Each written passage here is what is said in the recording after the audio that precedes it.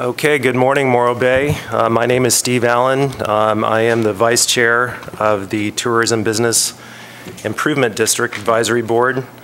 Um, To my right, Chris Kosteka, Joan Solu, and on my left, Nancy Dickerson. Uh, We're hoping that, I believe Isaac Sue is still going to join us this morning.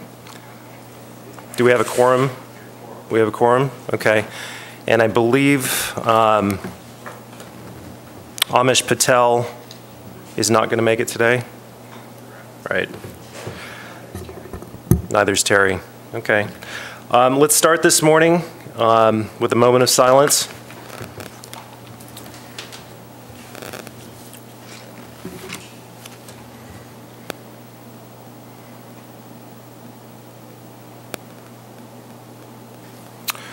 Please rise and join me in uh, Pledge of Allegiance. Pledge allegiance to the flag of the United States of America and to the republic for which it stands, one nation, under God, indivisible, with liberty and justice for all.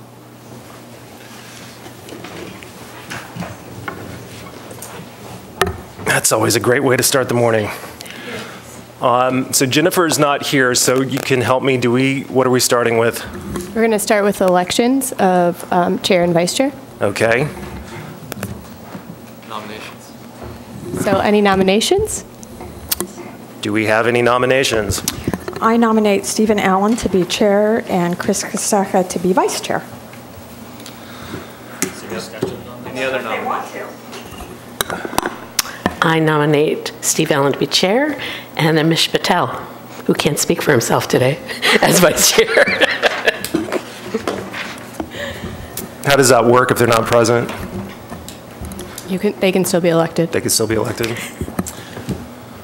I second Nancy's motion. I second Joan's motion.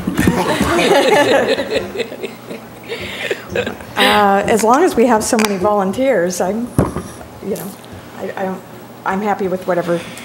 Um, The issue that I have this year on becoming vice chair is, um,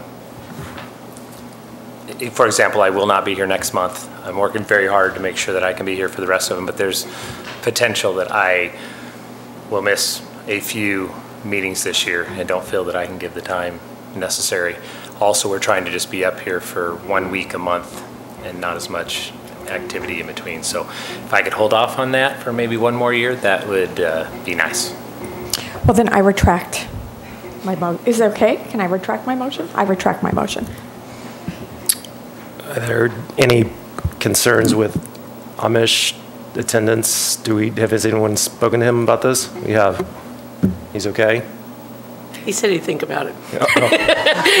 And then he was told that he doesn't, he can't just think about it. yes has to say yes. Yeah, my understanding is that Amish is okay with this. Yeah. Yeah, okay. Okay, so do we, what do you need? Do, a second? You have a second? Do you have, want to take a vote? Sure. Okay, so all in favor of Steve Allen becoming chair and then Amish Patel becoming vice chair, say aye. Aye. Opposed? None. Okay. Congratulations, everyone. Congratulations. Uh, Thank you. Um, No, it is kind of surreal. Everyone I started off with on this board is gone now. Um, So, circle of life. It does happen, doesn't it? Yeah. Uh, We're going to transition now into um, any board member announcements. I have an announcement, if you would humor me. It's Megan's birthday today. And so, thank you, Megan. Happy birthday. And we appreciate everything you do. And thank you for spending time in our meeting with us on your birthday. And, you know, go off and just have another great, great year. And you're, you can run this year, so. Thank you. I second that. Any other board member announcements? Seeing none, um, any staff announcements? Yes, I have a couple. Can I actually stay? Point. Thank you. Perfect. So I'm just going to bring you a little bit up to speed on vacation rental onboarding. So we are still in the middle of outreach. Um, Vacation rentals have until the end of February to opt out if they would like to not be included on morrobay.org. Thank you. Um, So far, we have 33 um, properties that have opted out of the 263. Um, The yard sale is coming up, beginning of April. We have applications rolling in already. Last year, we utilized the yard sale treasure map app um, for visitors to help plan routes and find all the yard sales. We're going to do that again this year. Last year, we cut down the number of printed maps from 10,000 to 2,000, and we still had quite a few left over. So this year, our plan is to print 500 and then to go fully green um, next year with having no printed maps. And then an update on the numbers for the Foodies Wanted campaign, which is our food and beverage digital um, passport this year. So, so far, in less than two months, there have been 1,025 offers downloaded, and the page on Eventbrite has been viewed over 1,000 times, which is pretty good numbers. Um, just for reference, last year, over three months, the total redemptions was, were 376 for the passport. And then we have some new signs. So we have new morrobay.org signs um, over the two major entries into town. Um, so one is on Highway 1 and Yerba Buena, as seen here. And the other one is off of Highway 41 in Ironwood. So it's good to get tourists um, directed to morrobay.org right away to get the information that they need when they're coming into town. And those are all the announcements I have at the moment.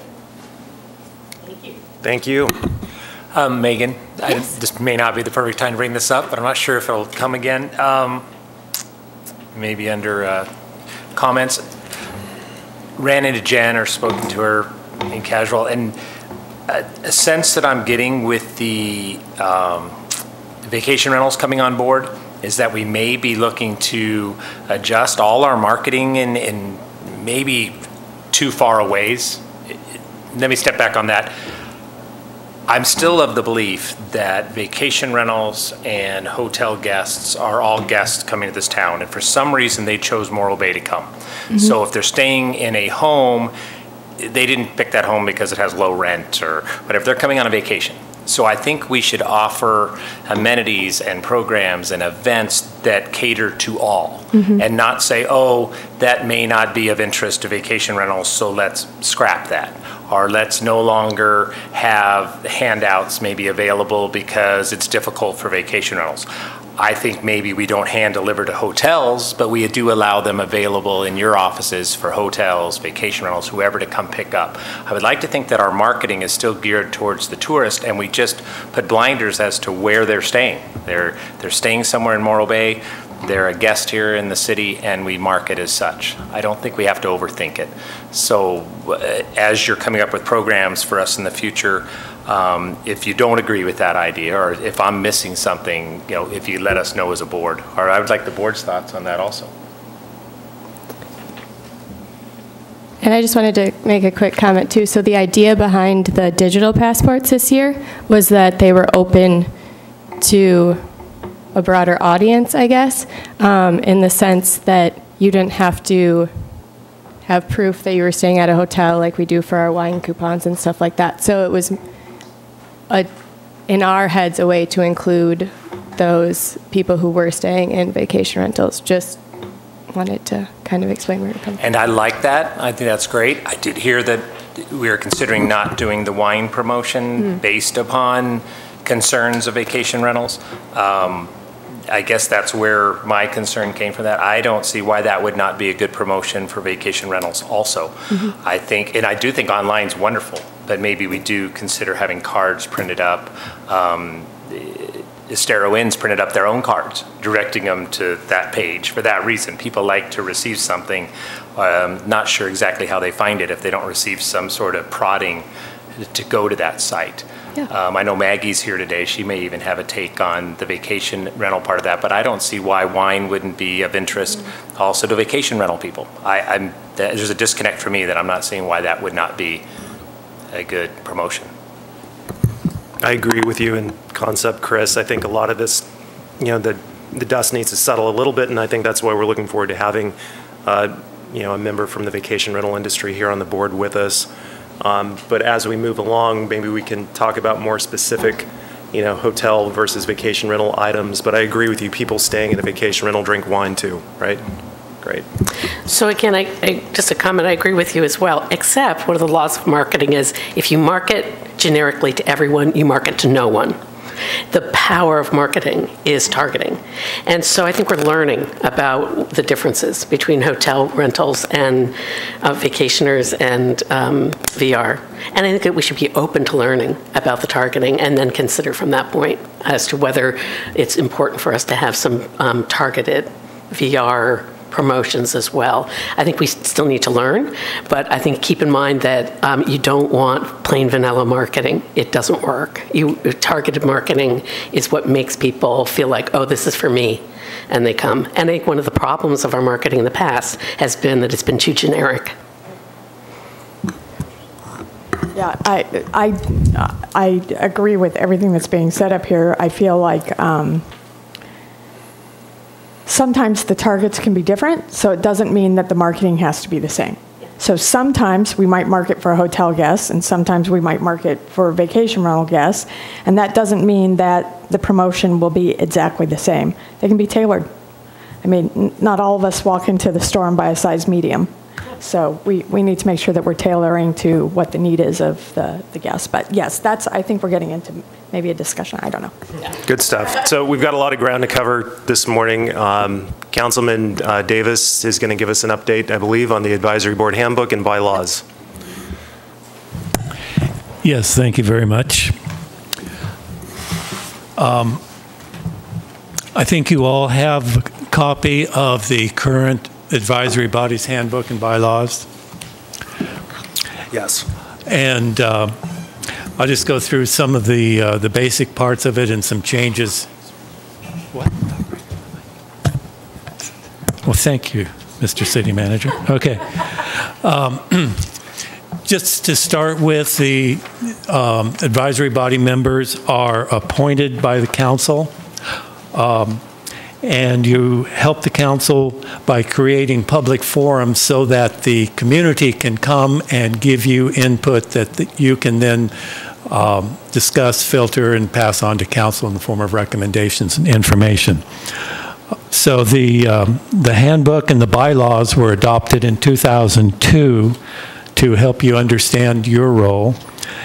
And um, this past year, the council established a subcommittee to, re- to review the, uh, the handbook and make some changes, and we adopted those changes in, uh, in December.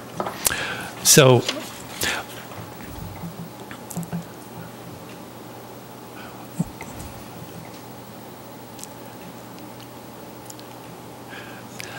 So one of the, the basic parts of your job and our job is to develop jointly a work plan, and that's based on city goals and objectives that we set every two years. Uh, we will start next year in January with our two-year uh, council goals for the city, and then we will ask for your input into the work plan or into the goals. And then, uh, as part of our goals process, we then develop work plans for each of the advisory bodies, and we give that back to you. And we ask you to work on specific tasks uh, during the, the following two years uh, with some goals and uh, timetables. And of course, other things may come up during the, the year that we would ask you to work on as well and add to your work plan.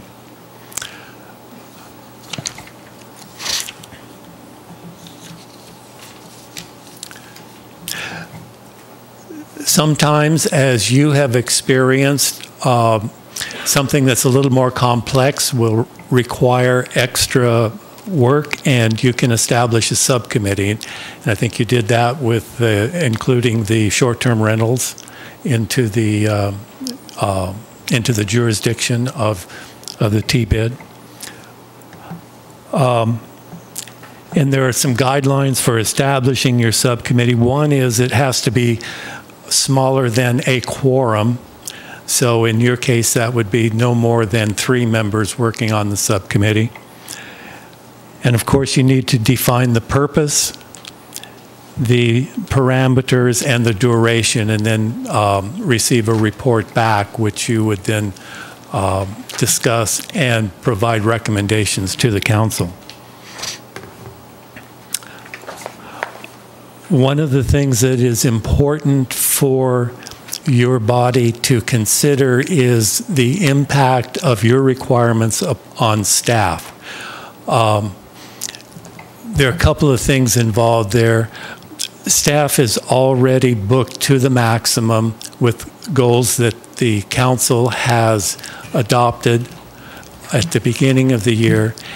Anything that you add to their uh, time requirements then requires them to reduce their work in some other area. So uh, you need to reach an understanding with staff when you ask them for help, particularly with subcommittee um, requirements.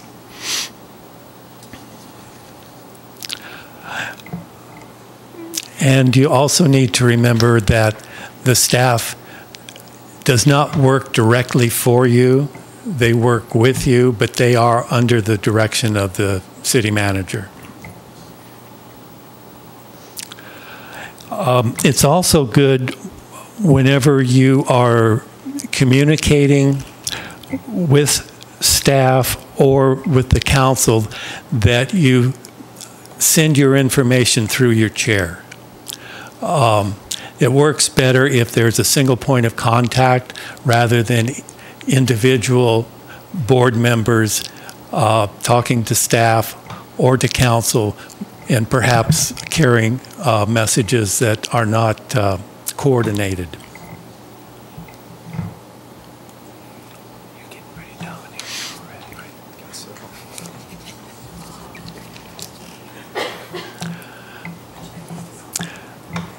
And then there are, um, occasionally you will be asked to make written reports or recommendations to the council. And again, that's based on your work plan or on what you hear from the community during your regularly scheduled meetings. And something you should remember is that you do not speak for the city, uh, particularly when you speak to outside agencies.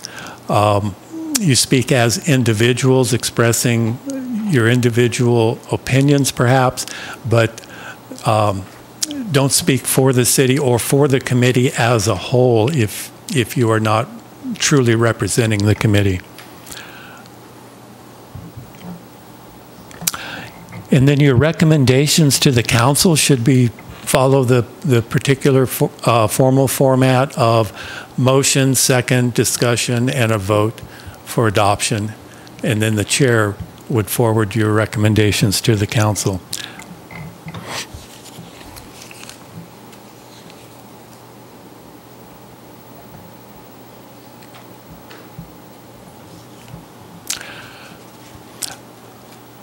Whenever one of your members appears before the council or in front of another advisory body,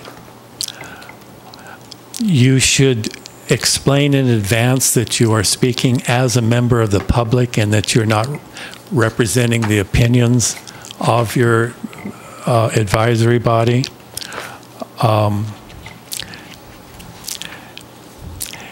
And then if you are making statements about a matter that is within um, your advisory body's jurisdiction, you should not speak if a majority of your body is present at the meeting. So if four of you are in an audience at a council meeting and one of you gets up to speak, um, you should not talk about TBID matters because then that becomes construed as a, a quorum being present and presenting a conclusion. Does that make sense? That's good, because that's kind of a difficult one for me to, to grasp. Um, and then the, just some administrative details, the, uh, the T-bid meets nine times a year, each month, January through June, and then August, September, and October.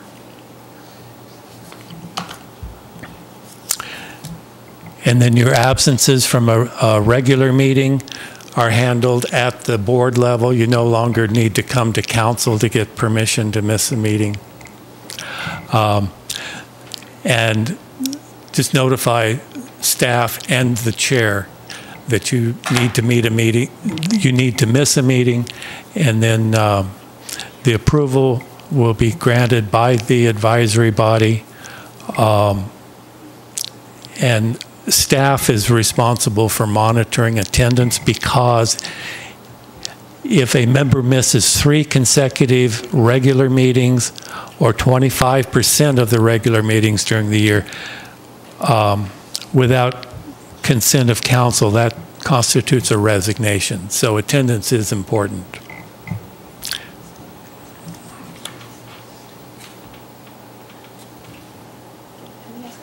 Can we ask questions? Oh, sure, please. Okay.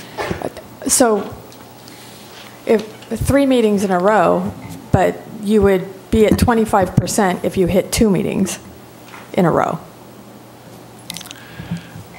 It- It's just math. The the mathematics are off. That's- Yes. So I don't know. I'm- So still it's three meetings or it's two? Well, Who it's knows? both. It's,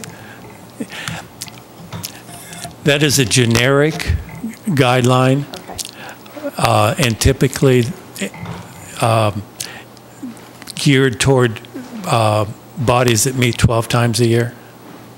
So, yes, both of those would still be true.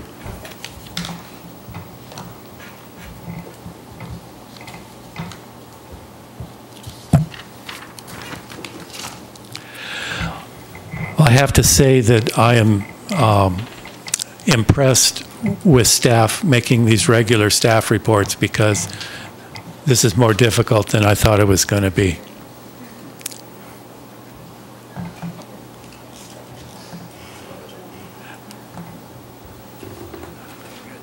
Huh? Oh, yeah, I'm- I don't even know which slide I'm on. Um, Okay, and then the, the procedure for, uh, for holding your meetings is the same as what the council follows, and, and I think you know that.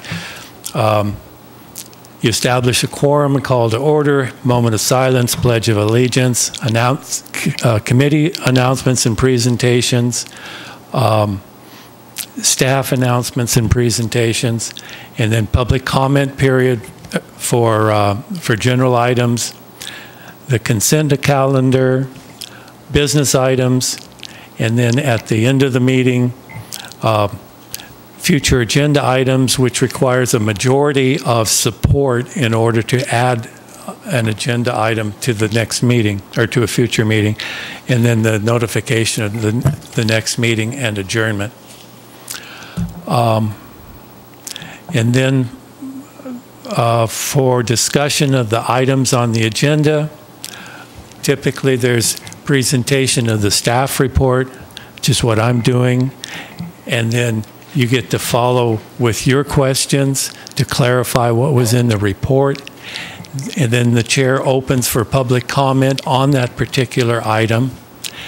Then your committee discusses the item, um, and then uh, follows, um,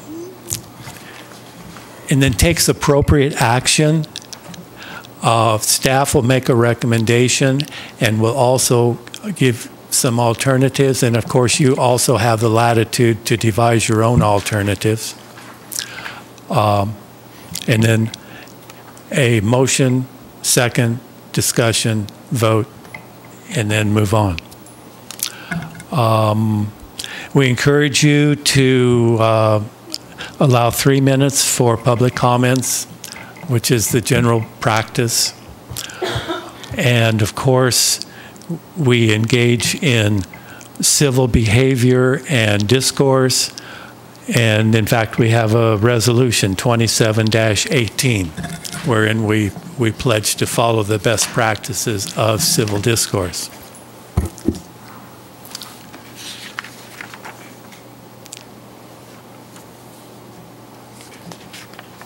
Aha. Okay. and as you can see by the slide that's on the board now, remember that you are a, a, uh public um, board that conducts its business in accordance with the Brown Act.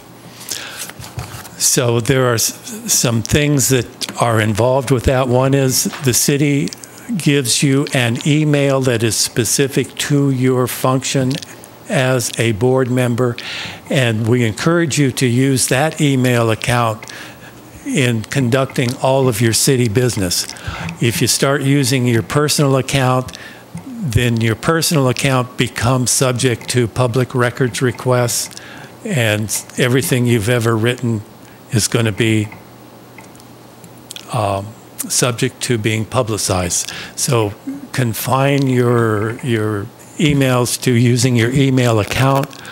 Um, and be careful about how you address your fellow members, your board members. If you write an email to a majority of your board members, that can be construed as a violation of, of um, pub- the public meeting requirements of, of your uh, function. Um, and just remember, anything that you write in your email is subject to uh, public records requests, and you might see it in the newspaper. Um, one of the requirements of a public person is that you file a Form 700 um, every year. And of course, Heather can help you do that. Um, you can do it online, and sometimes that works. Um, or you can do it manually. Also, we are all required to do ethics training um, within a year of assuming office and every two years after that, and also harassment prevention training within six months of office and every two years after that. And typically, um, our city attorney will set up uh, a couple of dates in the beginning of the calendar year, and you can schedule yourself to do that. And I think there's an alternative. You can do it online, and you can work with Heather if you need to do that.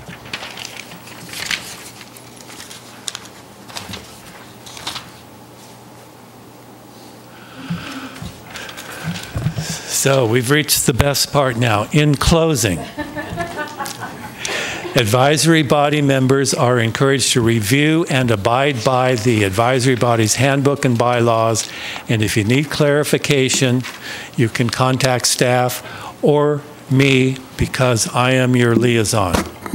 Which doesn't mean that I have any authority over you at all. I am simply a communication conduit if the rest of the council has particular questions about um, decisions that you have made. You should also familiarize yourselves with the Brown Act, the Public Records Act, and the Political Reform Act, which has to do with conflict of interest in the Form 700. You need to file your, your Form 700s, attend the legally required training, and please use only the city email accounts for official city business. So I'll open now for questions. Any questions? I have one. It's common practice to text. Text, you know, can you make a meeting at 4 PM for the Yeah. subcommittee? Uh-huh. Yeah. I mean, there's nothing about texting in here, and I'm just wondering how, you know, how you handle, uh, like, do we need to forward those to our city email accounts so that those are part of the record, those kinds of things? I don't think that you need to copy anybody on your text on staff, but you need to be aware that as soon as you text another public member, that means your texts are subject to, subject to public records requests.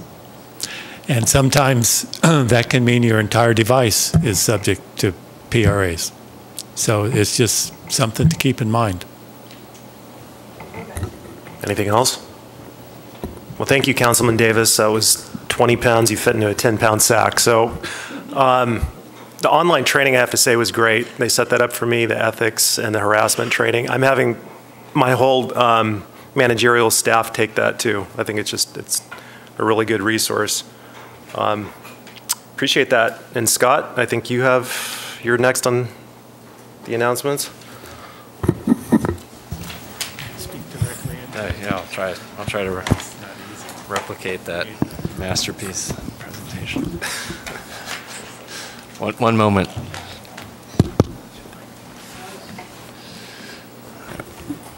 Okay, Scott Collins, City Manager here. Uh, also have Rob Livick, our Public Works Director, fill in blanks, answer the hard questions. Um, so, uh, several meetings ago, I believe now Chair Allen had asked a question about the water and sewer rates um, and had requested that staff come back and give a presentation on the rates, uh, kind of why they're so high. Um, and uh, so we put together a presentation for you, and um, the title of the recommend of the sorry of the PowerPoint presentation is the wharf project and water and sewer fees, and those two are inextricably linked. So it's important that um, we talk about the project and the rates together. So, moving on into the presentation, um, why did the city need a new plant? Um, not going to go into all those biological readings, but um, in short, we failed to meet the basic level of treatment requirements to discharge into the ocean um, per the Water Quality Control Act. Um, and we've known that for quite some time. The city has grappled with this project for at least 16 years, maybe prior to. We knew we were on the clock from the state and federal regulators regarding water quality. Um, they also understand that um, building a new project or rehabbing a project of this size in a community of our size and economics is challenging, so they've given extensions upon extensions while we work as a community to come up with a solution. Um, they finally called called in the cards and said you have one last shot, you know, and issued a time schedule order, which means we have until the beginning of 2023 to have a functioning plant that discharges the the right combination of water and other things into the ocean to meet the water water quality control goals and uh, or face up to $50,000 in fines per month. So um, it's a pretty heavy hammer uh, to face. And so we were issued that in 2018, which gave us five years to get a project built. Um, meanwhile, the community has been going through a lot of discussions, um, starting out in 2007, looking at a rehab of the project, being notified by um, Coastal Commission that probably should consider a project that's inland. Um, the city proceeded anyhow forward with a rehab project that included some flood control protections. Um, that made it all the way to the Coastal Commission in 2013, where the project was denied. The permit was denied to of rebuild the project on its current location. The city looked at the current location primarily for cost purposes. Uh, you know, it's all the infrastructure is right there. Um, but from the Coastal Commission's perspective in 2013, um, with climate change becoming uh, an issue du jour at the time, uh, and being within close proximity to the ocean and not a lot of barriers between itself and the ocean, uh, a good idea is to move it inland. And so the city took a new course after that time to um, look look for alternate sites. Um, and also in that ruling by the Coastal Commission, they um, stated that the city really had to make a better effort to do water reclamation. Um, this was pre-drought era, but um, nonetheless, Coastal Commission has a, a, different horizon than most cities in terms of how they view things, and felt it was appropriate that the city really consider a water reclamation component um, and to, to reuse that water. Uh, so um, with that in mind, the city went went through a pretty lengthy process. Uh, they formed a citizen advisory committee to help assist the city in looking at alternative locations across the highway, looking at different treatment levels, looking at water reclamation options, and also helping City Council uh, engage the public and come up with project goals. Um, Clearly, moving inland is going to bring an- another level of cost burden to the community, so ratepayer expense was a top priority. Um, Communicating the goals uh, to the community was another priority. Producing higher level um, treatment was another priority. Uh, Augmenting the city's water supply, because by this time, when we were getting really serious, we were in the middle of, you know, a pretty historic drought back in 2015, 16 timeframe. Um, And the city was really serious about reclamation, and Rob will talk a little bit more about that. Um, And include uh, secure funding or grant opportunities that can help reduce rate impacts, uh, and also consider neighbor, neighboring uses in, in terms of compatibility, not locating a pow- uh, wastewater plant in the middle of a neighborhood. All those things led to initial price tag of $167 million back in 2017, and City Council rightfully took a pause at that time because that number was extraordinary, and initial um, cost, uh, rate estimates had it almost a $300 a month bill for, for residential on an average water use, and on a completely unacceptable uh, level. And so City Council, with the help of our Public Works Director, formed a peer advisory committee of other public work professionals.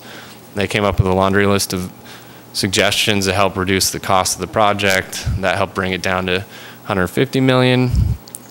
And then we worked with the uh, Environmental Protection Agency uh, on their WIFIA program to get low, low interest loan financing. Um, created a sort of innovative design build contract um, to help get sort of guarantees on what the cost of the major components of the project would be. And that got us down to $126 million.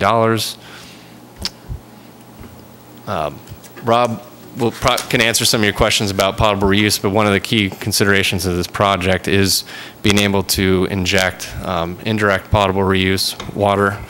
Um, Highly treated water goes into an injection well system. It sits for the requisite amount of time, and that's drawn upon into our water system for, for potable re- reuse. Um, Pretty innovative.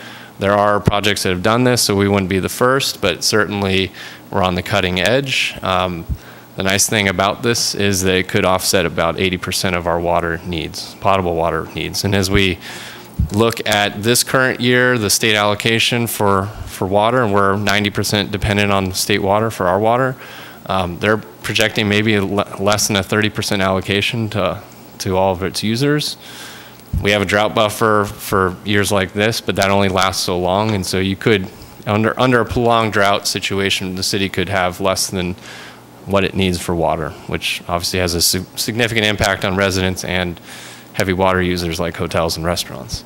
So we wanted to make sure we get the most value for a project that's going to cost that amount of money. Um, And the other thing about recycled water is that it makes us uh, eligible for loan, low-interest loan programming and grants. Um, We already are qualified and almost ready to sign with the WIFIA program, which will save us approximately $28 million in debt service because the interest rate is around 2.4% versus the conventional loan, which is over 3 now. Um, And we're working on uh, another low-interest loan with the state for the state revolving fund, which could help us save another $32 million in debt savings. Definitely worth it. So if you, if you sort of were to take out the reclamation component of the project, um, the rates would essentially be the same, but then you wouldn't have that benefit of an insurance policy if droughts become significant and long-lasting. So again, here's a, here's a look at the, the SRF um, funding and the WIFIA, which is the Water Infrastructure Finance and Innovation Act of 2016. Um, So what went into the rate study, which was done in 2018? Um, There's the, the wharf project itself, um, starting to invest in our sewer and water pipe needs, and then operations and maintenance to ensure that we have a fully functioning utility program.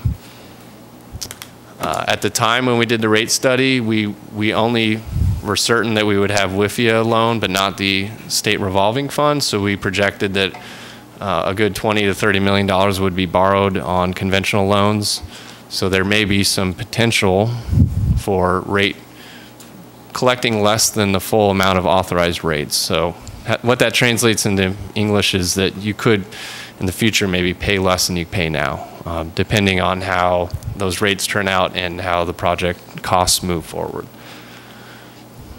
Uh, we did form a Blue Ribbon Commission of four members of our community who are very talented and experienced in the financial world or business world, and they helped us to develop rates that um, could be as reasonable as possible given the sheer cost of the project of $126 million. So we thank all four of those members uh, for their work and their recommendations to council, which were ultimately uh, moved forward into the Prop 218 process, which was conducted in, in late 2018. Um, so this chart right here shows residential rates and what the wharf surcharge did to rates. Um, it's also important to note that there was a rate increase in 2015 for a, total of four year, five years. Um, prior to 2015, the water rates hadn't been increased for 20 years.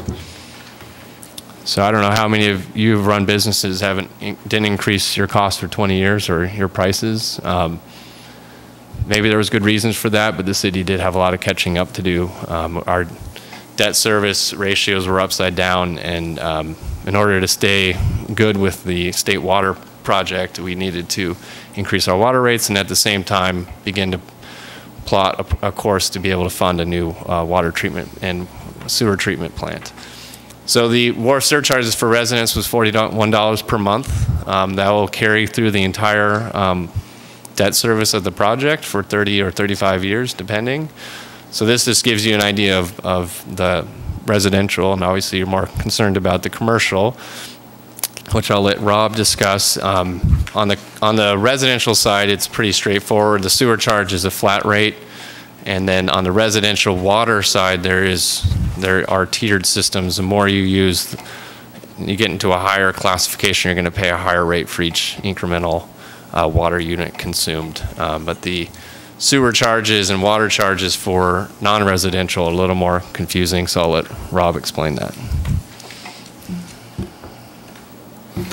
Thank you, Board um, Chair, um, Committee.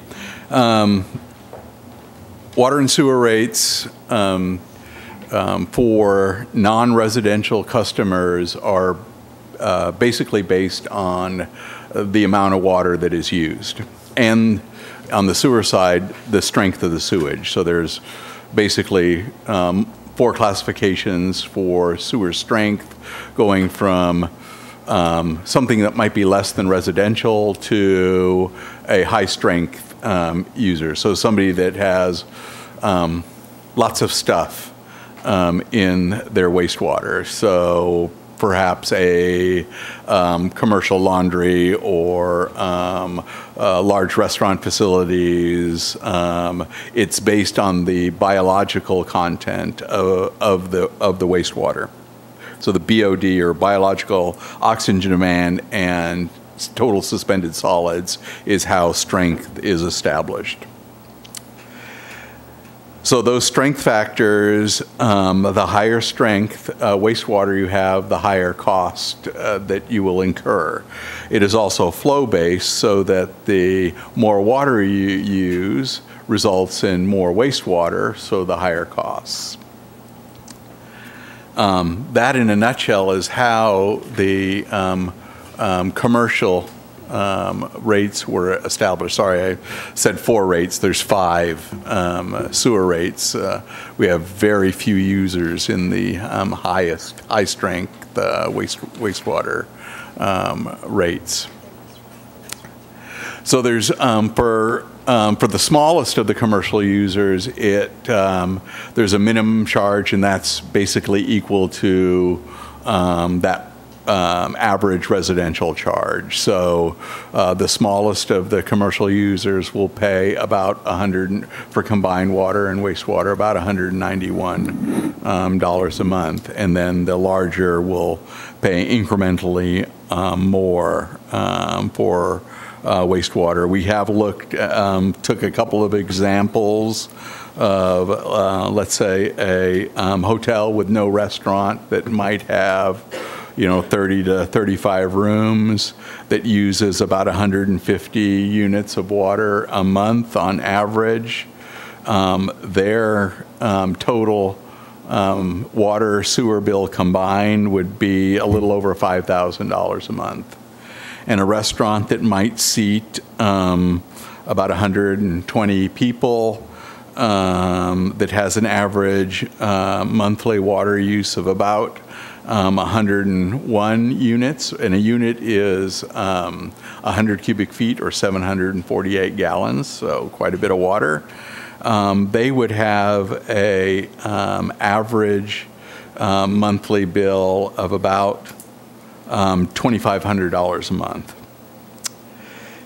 And you, we did look at um, um, our um, neighbors to see how that compares to uh, neighboring rates. Let's say the same um, hotel project was in Cayucos, that same um, 30 to 35 unit hotel um, um, that had the same water use um, using CSD sewer and CSA 10, which is the um, county water provider in um, Cayucos. They would have a combined monthly bill of about um, 41, almost $4,200 a month, and the the same restaurant would be 27. So the hotel is a little bit less, the restaurant is a little bit more, um, because they calculate their rates a little bit differently. Um, Not all agencies are both water and sewer providers, so um, Cayucos, for their sewer bill, can't use water consumption because they don't have access to that water use. So it's based on equivalent residential units, um, or um, how many, um, if that hotel could be compared to a residence, how many houses would that equal to? And a, um, based on water use, that hotel would be about 30 houses. Um, and the restaurant would be about 20 houses use of water. In Los Osos, um, um, they do things even a little bit differently than that. It's based on the square footage of the property, commercial property. In Los Osos, that same hotel would pay about $4,800 a month, and the uh, restaurant would pay about $2,400 a month. So you can see they're within the same order of magnitude, although we are um, a little bit higher than our neighbors. Um, reason for that um, increased costs.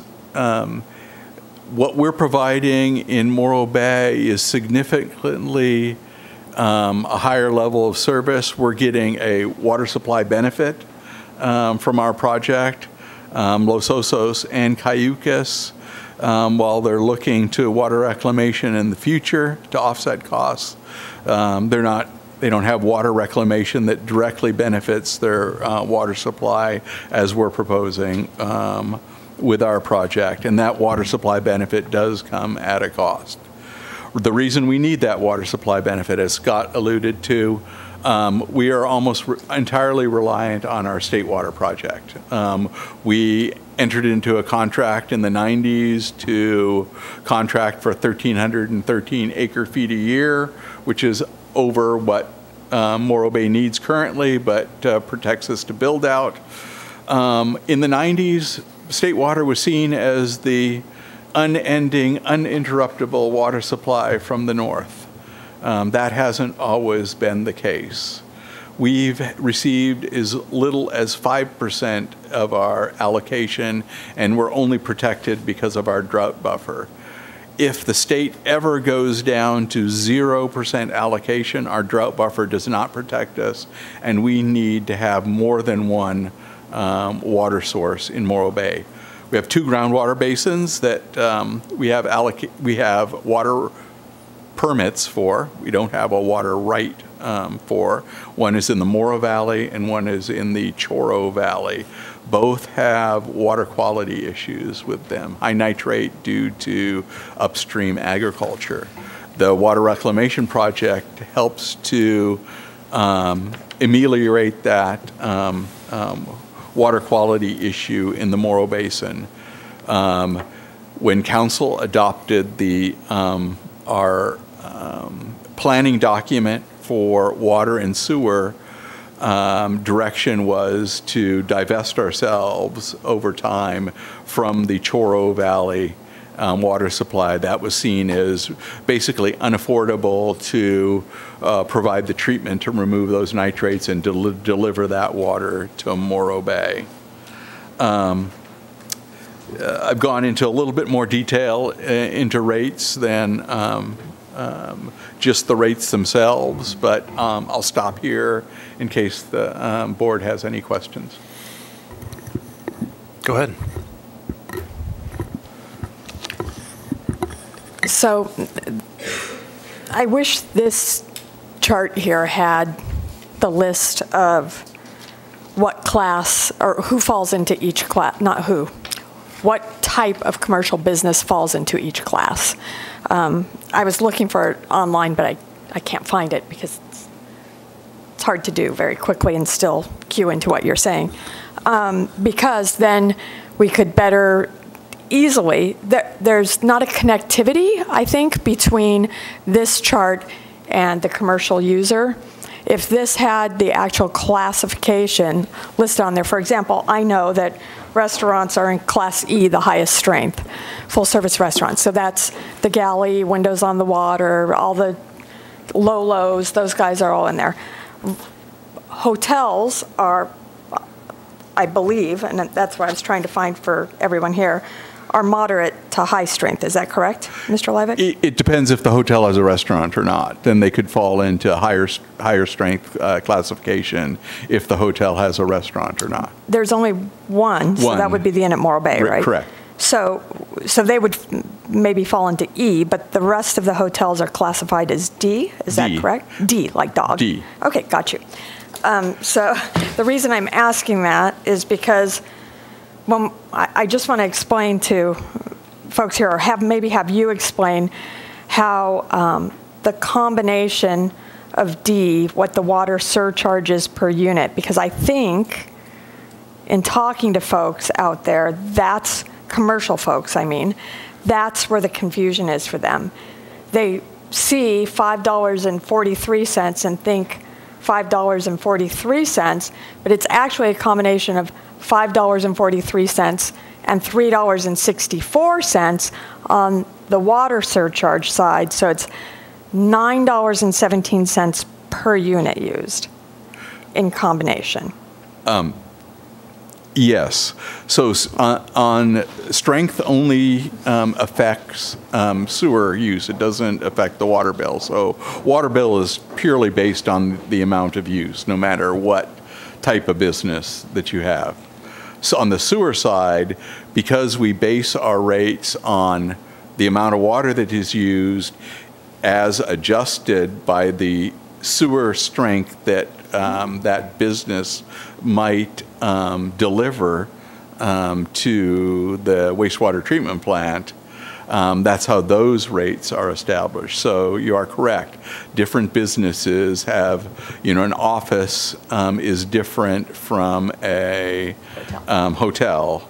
Um, a um, uh, water treatment, um, a Culligan type business is different from an office because they're almost delivering almost just water back back to, to the system. So um, that's how those strengths, and I think you're right. I think it would help um, businesses understand if not only the strength were listed because, you know, Class A, does that really mean anything to anybody? No. not- Uh, You need to list the types of businesses uh, for each classification, which is listed on the, um, on the, uh, both on the Prop 218 notice and our rate uh, schedule that we use internally. Um, Not so easy to um, um, uh, find on public, like this document, which is on, on the website. even the water and sewer active water and sewer rate calculator, which is phenomenal. I'm so glad we got there on online. It's so awesome to have that active water and sewer rate calculator because I've had folks ask me, I've sent them the link to it, and they, because they can't figure out what their classification is, I get the call back, can you, you know, can you help me? Um, But uh, it does allow them to see that, A, they, they- there's a perception that they're being overcharged because they don't combine the, they don't, they don't combine the two, uh, the water surcharge and the sewer surcharge to come up with the full surcharge, plus the standing monthly charge that's on there, which is, I have to put my glasses on for it, minimum monthly charge of $12.80 for the water surcharge for commercial, and a minimum monthly charge of $20, no matter what, in addition. So that's all combined on there. And that's how it's calculated. Does that help? It helps you to understand how it's calculated, but it doesn't, I guess, uh, help to understand how it can be Yeah, currently to, to determine what strength that you're being billed, unless you already know, um, would be to call our um, water billing um, staff and um, have them look up your account and let you know what uh, classification that you're in. Um, um, I don't believe that occurs on um, the bills. I think on the new bills, it, it, we have a, on there, but on the old bills, by looking at your bill, you couldn't determine what strength you were. You're correct. Yeah. big improvements on the bills. Yeah. Any other questions? Actually, I do have another question. Along the Embarcadero, we have several public restrooms. And on new building projects, uh, I believe Doug Redican has one. And uh, I don't know the name of the projects that are coming forward. I'm sorry. There's like two or three hotel projects coming forward that are combined with uh, lower the lower floor is retail and restaurant, I believe, and then there's going to be a public restroom on there.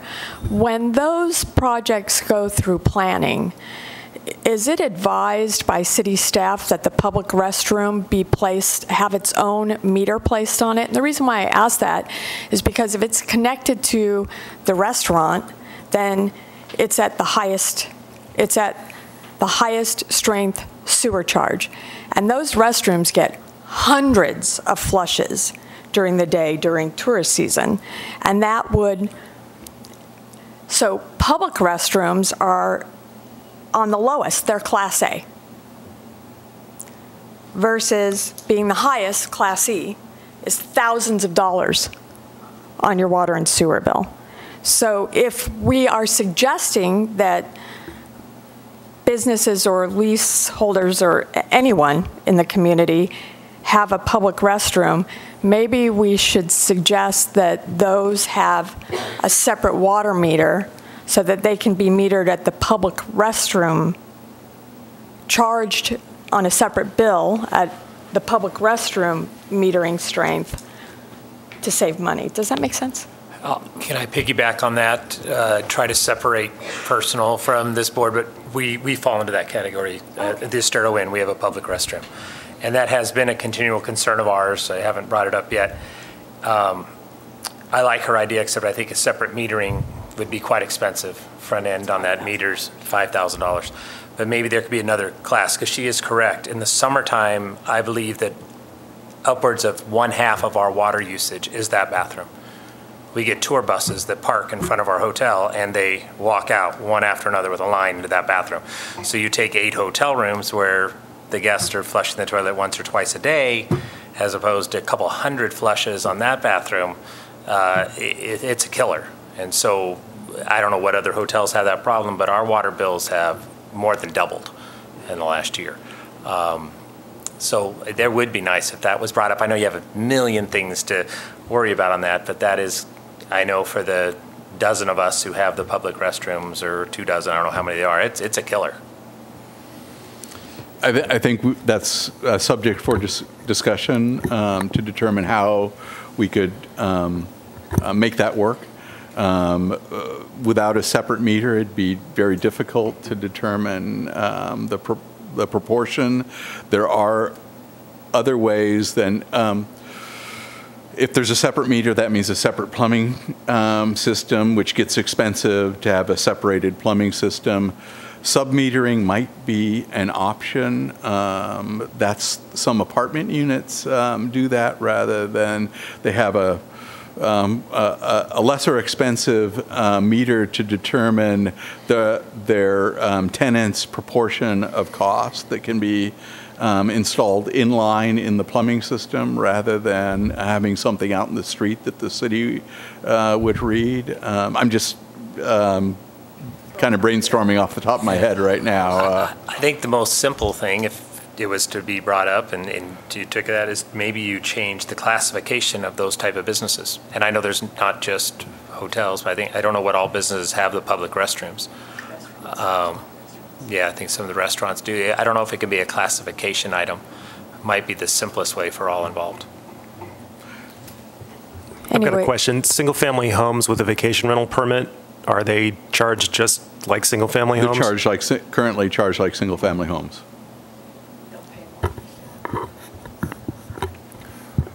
Well, I, I appreciate all the work that went into this project without getting into the weeds and, you know, asking who was on this blue ribbon committee. Um, You know, the only thing, shame on you. You know, the, the only comment I have, you know, I, you know, personally, I manage a lot of commercial properties in a lot of different cities, a lot of different areas, counties, et cetera. The costs of doing business in Morro Bay are exceptionally high. You know, it's not just the water that's incrementally higher, it's the availability and the cost of labor, it's the taxes are a little higher. So you put all of these things together, it's harder and harder to do business here. So when these different categories are set, I would just hope that whoever is doing that um, is taking all that into account because, you know, like Chris said, doubling your water bill, it, it, it's hard. It's hard for business owners. So, you know, maybe collectively, if we could make a recommendation to look at either re-quantifying these tiers or just giving more information, because we hear your message, you know, it's a necessity and it has to be done, or we're going to get fined 50,000 a month. So there's not much choice, but, you know, how do we spread that out so it's fair for everyone? Yeah, my, my only comment, thank you. Again, I think um, the project is so critical for, um, and taking a longer-term view. Um, You know, I, I think it's easy for us to look at the tactics of our, our, our bills. It's, um, I want to read something to you. Um, Morro Bay is the driest community in the driest region of the state during the driest period in almost 60 years. And every night, residents go to sleep not knowing if there will be enough water to get them through the day.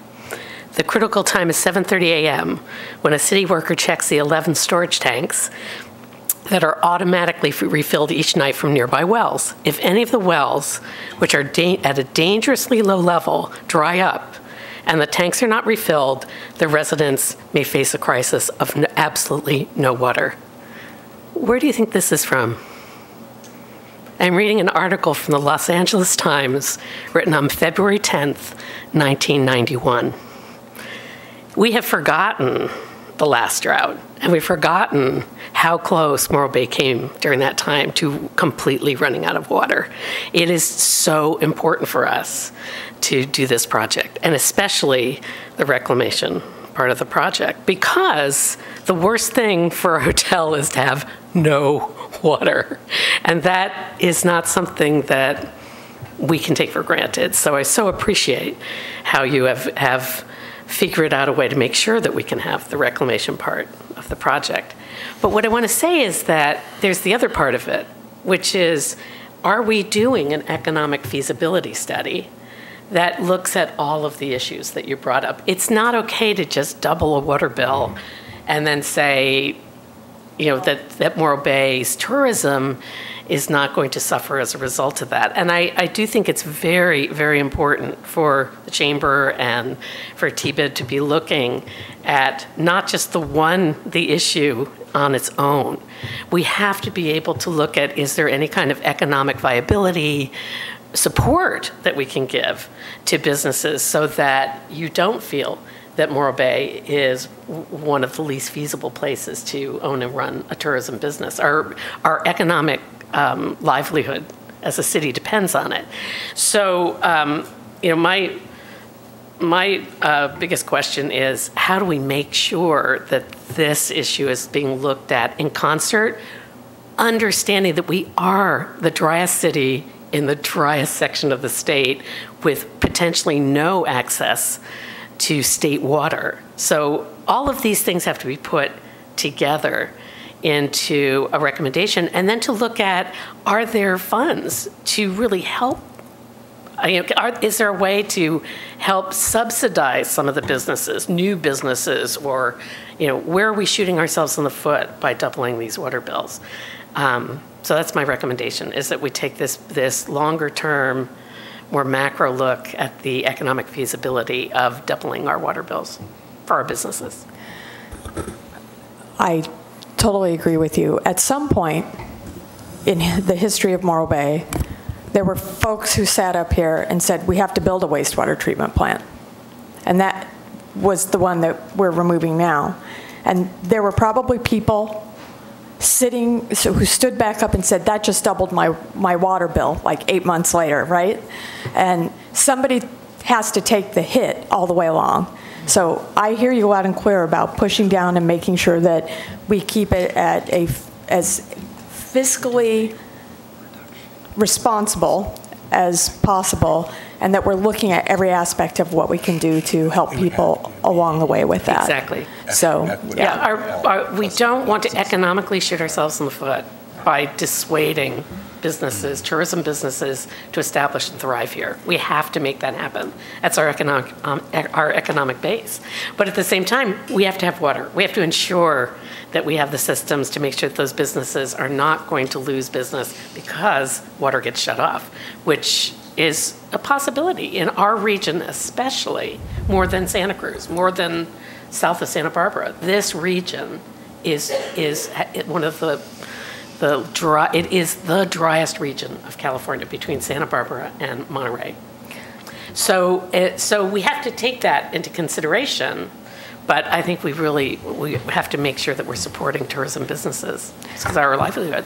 I have one last question. Mr. Livick, can you tell me when we'll be putting a shovel in the ground? Let's break ground. Not precisely. Um, I would anticipate probably the middle of March is when we will issue a notice to proceed based on um, information that we've received from the US EPA. What we need to do is finish the um, environmental document to get this, uh, the federal funding. Um, Everybody knows about our red-legged frog um, issue, I'm sure. Um, U.S. Fish and Wildlife has issued a biological opinion that uh, uh, basically restates um, what the information that we gave them that we would be willing to do.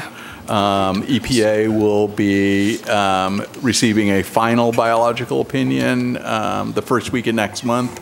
Their program manager says it takes them about a week once they've received that final biological opinion to complete NEPA, um, the Federal um, Environmental Protection uh, Act uh, or National Envi- Environmental Protection Act. And uh, once that is complete, we can, they, we can issue a notice to proceed and not risk uh, um, funding availability. Um, So we anticipate that date to occur sometime in the middle of March. Well, congratulations to staff. I'm, you know, cheering you on, and I want to see you out there with your hard hats on, and let's get it done. Absolutely. Can I ask one quick clarification? These numbers that we're seeing are in effect right now. I didn't misread. This is not higher than what we're paying right now, is it? Correct. This is what we're paying, right, right, these are the rates that are currently in place, and um, they are currently uh, the rates that will be in place um, um, throughout the project. Okay. um, Seeing as we're already an hour into this and we haven't even gotten to the uh, consent agenda, I'm starting my term off as chair very ineffectively. We're we're going to open this up to public comment. If there's anything the public wants to come address the board that's on or off the agenda, please do so. Maggie? Hi, everyone. I'm, can you hear me? Okay. I'm Maggie Juran, and I'm Maggie. a former member of the T-Bid Board, so I think most of you know me. Um, And I am part owner, and, sorry, I have to read because I forget, then I forget what I'm going to say. So, um, and I am part owner of two vacation rental property manager companies in the area that manage 37 short-term rentals in Morro Bay. As most of you probably know, the city is in the process of crafting new STR, short-term rental regulations. A committee, of which I am a member, has been formed to create recommendations that will go to the Planning Commission as input for this topic. The city also reached out to the Chamber of Commerce for their input as well, and, and they now have that, and the chamber did submit that, a paper with their opinion to the city. As new payers into the T-bid assessment, I'm here today looking for your support and for your support and advocacy for reasonable regulations that do not cripple STRs in our city.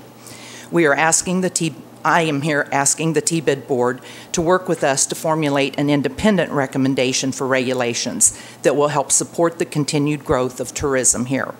We have been working with the SLO CAL staff, Derek and, and Chuck, um, as well, and they have shown us great support so far. We understand that in the minds of some, vacation rentals should be banned completely, but it is no secret that they are a large part of our economy in Morro Bay and contribute a significant portion of TOT, and we are now contributing to the T-bid as of January with the stated goal of increasing tourism in our city and putting more heads in our beds as well as the hoteliers. Um, We support a policy that addresses all the behavioral and noise issues in the residential areas, but these need to be balanced with the property rights of short-term vacation owners and the continued economic benefits to the city and to our business, to our businesses that the VR industry brings. I would be happy to work with the task force or subcommittee to provide any data or information that you might need for your input. We, the vacation rental operators and homeowners, look forward to your support and advocacy. Thank you. And, um, and I will be submitting this request in writing too, um, but like I say, that's what I'm here for. So we hope we have your support. Thank you. Thank you, Maggie. Any further public comment, please? Good morning. Uh, My name is Derek Kirk. We had the pleasure of meeting a few months ago as we- uh, Chuck and I were coming around uh, to renew the San Luis Obispo County Tourism Marketing District. Uh, One of the things that we heard uh, on the Visit SLO CAL staff was that we um, needed to be more present in the communities. Um, It is a- a a big endeavor of mine. I'm the Director of Community Engagement to make sure um, that you see a face from our organization and our staff uh, present in your communities, hearing what you have, in addition to the work that Jennifer um, Little, uh, your tourism manager, uh, brings to our marketing committee. So today I'm here to introduce you to Kelly uh, Bricky. Kelly is the communications coordinator and Film Commission liaison at Visits SLO CAL. She joined us a few months ago, and she is now your official liaison on our staff uh, to the Morro Bay T-Bid Board. Um, and so she will be present at all of your T-Bid meetings, um, taking notes for us and bringing items back to our staff to make sure that we are following up and, and participating and actively supporting the Morro Bay T-Bid um, and Morro Bay travel and tourism industry. So not, not here to, um, you know, provide a whole lot of input in discussion, but really just to make sure um, that we're hearing your voice because obviously Chuck and I can't be in 12 places um, all at one time. So you'll periodically see myself and Chuck present, um, but Kelly will be your official liaison and um, she's touched base with Jennifer. So anyway, I just wanted to provide that context with you um, and make sure that you get to know Kelly a little bit. So thank you so much. That's great, thank you. Kelly, your primary office is San Luis Obispo? Okay, Yes, I am in the Visit SLO CAL office with the rest of the team. okay, but you will be here at our T-bid meetings when you can? Yes, Okay. monthly. Mhm. Great, thank you. Yeah. Any further public comment? Seeing none, um, we're gonna, is there any discussion on the board? Nothing? All right. Uh, Seeing none, we're gonna move on to our consent agenda. Do we have approval of the consent agenda and board meeting minutes from the January T-bid meeting? Yes. um, Yes, I move on the con- consent agenda that uh, we, do we, take them individually? All together? Does anybody have any comments on, or changes to that before I make a motion? Okay, then I move that we approve A1, A2, and A3. Great, do we have a second? I second. I think it was a tie. but, All right. All in favor? Aye. Aye. Opposed? Okay. Um, So we don't need to talk about A2? We're good? Okay, great. Um, A3, approval of middle marketing reports for December and January. I believe you already We did approved that too? So I think we're on TOT. Thank you. Uh, So we're going to look at our business items. Um, December 2019 transient occupancy tax report and year-over-year report, Perfect. please. So overall for December countywide, um, the numbers were down. As far as specifically here, our occupancy was at 42%, which was down 4%. Um, ADR was at $116 and RevPAR at $49. Um, some of the influential market factors for December, um, the five days of rain, which um, almost impacted the lighted boat parade, not directly, but indirectly. And then there was a decrease in events overall in December, including the tall ships that weren't able to make um, the trip due to repairs and maintenance. Have any questions or comments on the TOT? Questions on TOT? I have a question uh, concerning the lighted boat parade. I'm, don't have an answer, that's why I have the question, of how to market that in such a way that if the tall ships are going to have a problem, or if weather is going to affect parts of the lighted parade, then maybe, maybe my suggestion would be to renaming that event um, so that the event name, if the, if- if the lighted portion is not there on the water, it doesn't feel like the event's being canceled Gotcha. because two years in a row, that was our worst weekend of the entire year. Two years in a row. Because we advertise it, people book for that specific purpose, then the weather gets sketchy, and they all cancel at the last minute. And then December is a hard month to rebook at the last minute. People have Christmas plans. So uh, I'd like to challenge to maybe come up with another name. You know, Okay. Christmas, I don't know, I don't know. Come up with a name so that if that part gets canceled, it doesn't feel like the town is shut down. It's not just that, you get a lot of unhappy guests when there's nothing there that's advertised, right? Right. Right. Right. So it would have to be another event as well. Well, you have a lot going on. You have Santa's workshop. We've talked about bringing in snow. We, There's a lot of activities going on during that time, but it might just take a few years, and Marianne may have a way of doing that to, to change people's mindset that they're coming for a lighted boat parade, not coming for the, the half dozen other activities that are there that weekend. Um, and I'll, I'll stop, and Marianne might be able to compound on that. Well, I just have a question for you because I, I, I think I understand what you're saying is that maybe kind of like the concept of Winterfest, where it was like the 16 days of events. We really tried to push that. Um, subsequently, we lost grant funds, so we lost some of the events. So, so then this past year, um, we had less to push, especially you know with the canceling of the boat. So, I guess my question to you would be. Are, are you specifically talking about that weekend, or are you talking about, uh, can you be more specific about it? Uh, Yes, I'm specifically talking about that weekend, because when you're looking at occupancy rates of 42% in town, I Yeah. would assume that the majority of that is the weekends over Christmas. Sure. So when you wipe out a weekend, it's a huge hit. Uh, So So that would be that yeah. weekend, everybody's focused on, on the lights and. On the boat parade. it- it- So are we over-marketing that function of it? Yeah. And you would know better than us. Yeah, I, I think I'd really have to sit down and think about it. I kind of, I, I think I kind of hear what you're saying. Um, it's hard to, you know, we're so dependent on Mother Nature, you know, and so, so some of, some of, you know, it's winter, so, you know, so th- that's always going to be, be a factor no matter what we call it. is what my feeling is right off the top of my head. But I'd like to maybe take some time with, work with Jennifer and, and Megan and, and, and talk that through. I think, I think you might have something there, actually. Um, and, um, and maybe we talk about including other events that aren't so weather dependent. Um, however, so many of our events are outside, so if it rains, you know, that's another factor too. So, um, but I, did- you know, I hear you, and and I think we should we'll, we'll discuss it for sure because that it's an issue all around. You know, with logistics and then the people that are, you know, doing the event and, you know, and obviously your guys' hotels. So the canceling of the, of the weekends of the, and that's, that's huge. So, um, so noted, and, and we'll discuss it. Thank you. So for me, I'm looking at this again, and I see a- another month where we've lost market share, where we've lost occupancy, and I'm really concerned.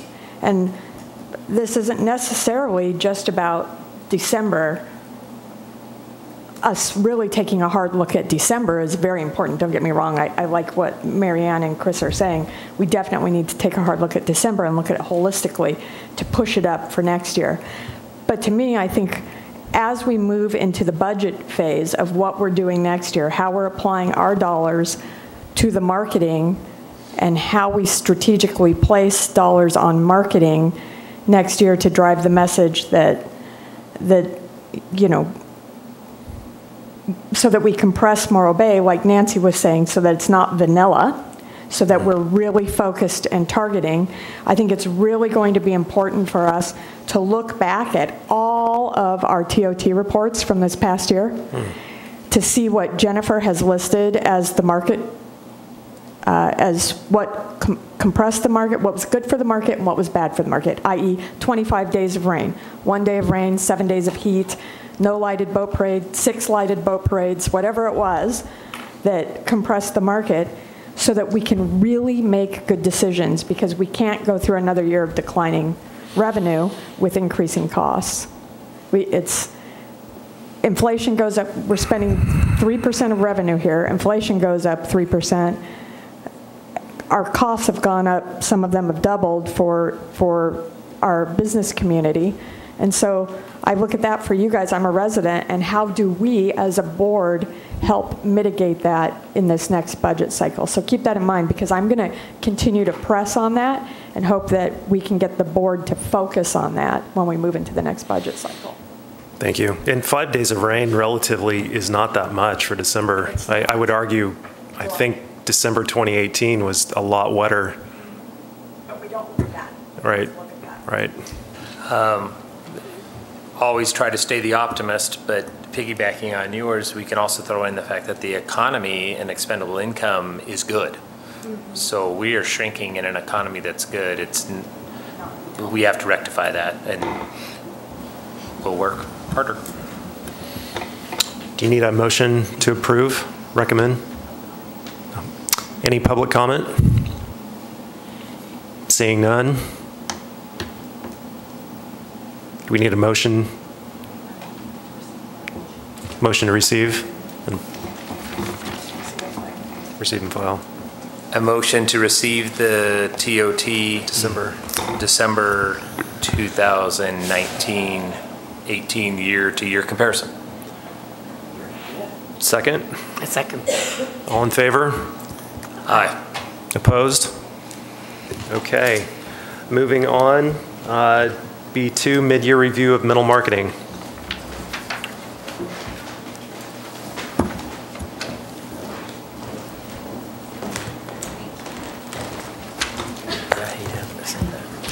Good morning. Good morning. Um, My name is Marianne Stansfield. I'm with Mental Marketing, and um going to do a presentation about the six-month review from uh, July 1st through December 31st for 2019.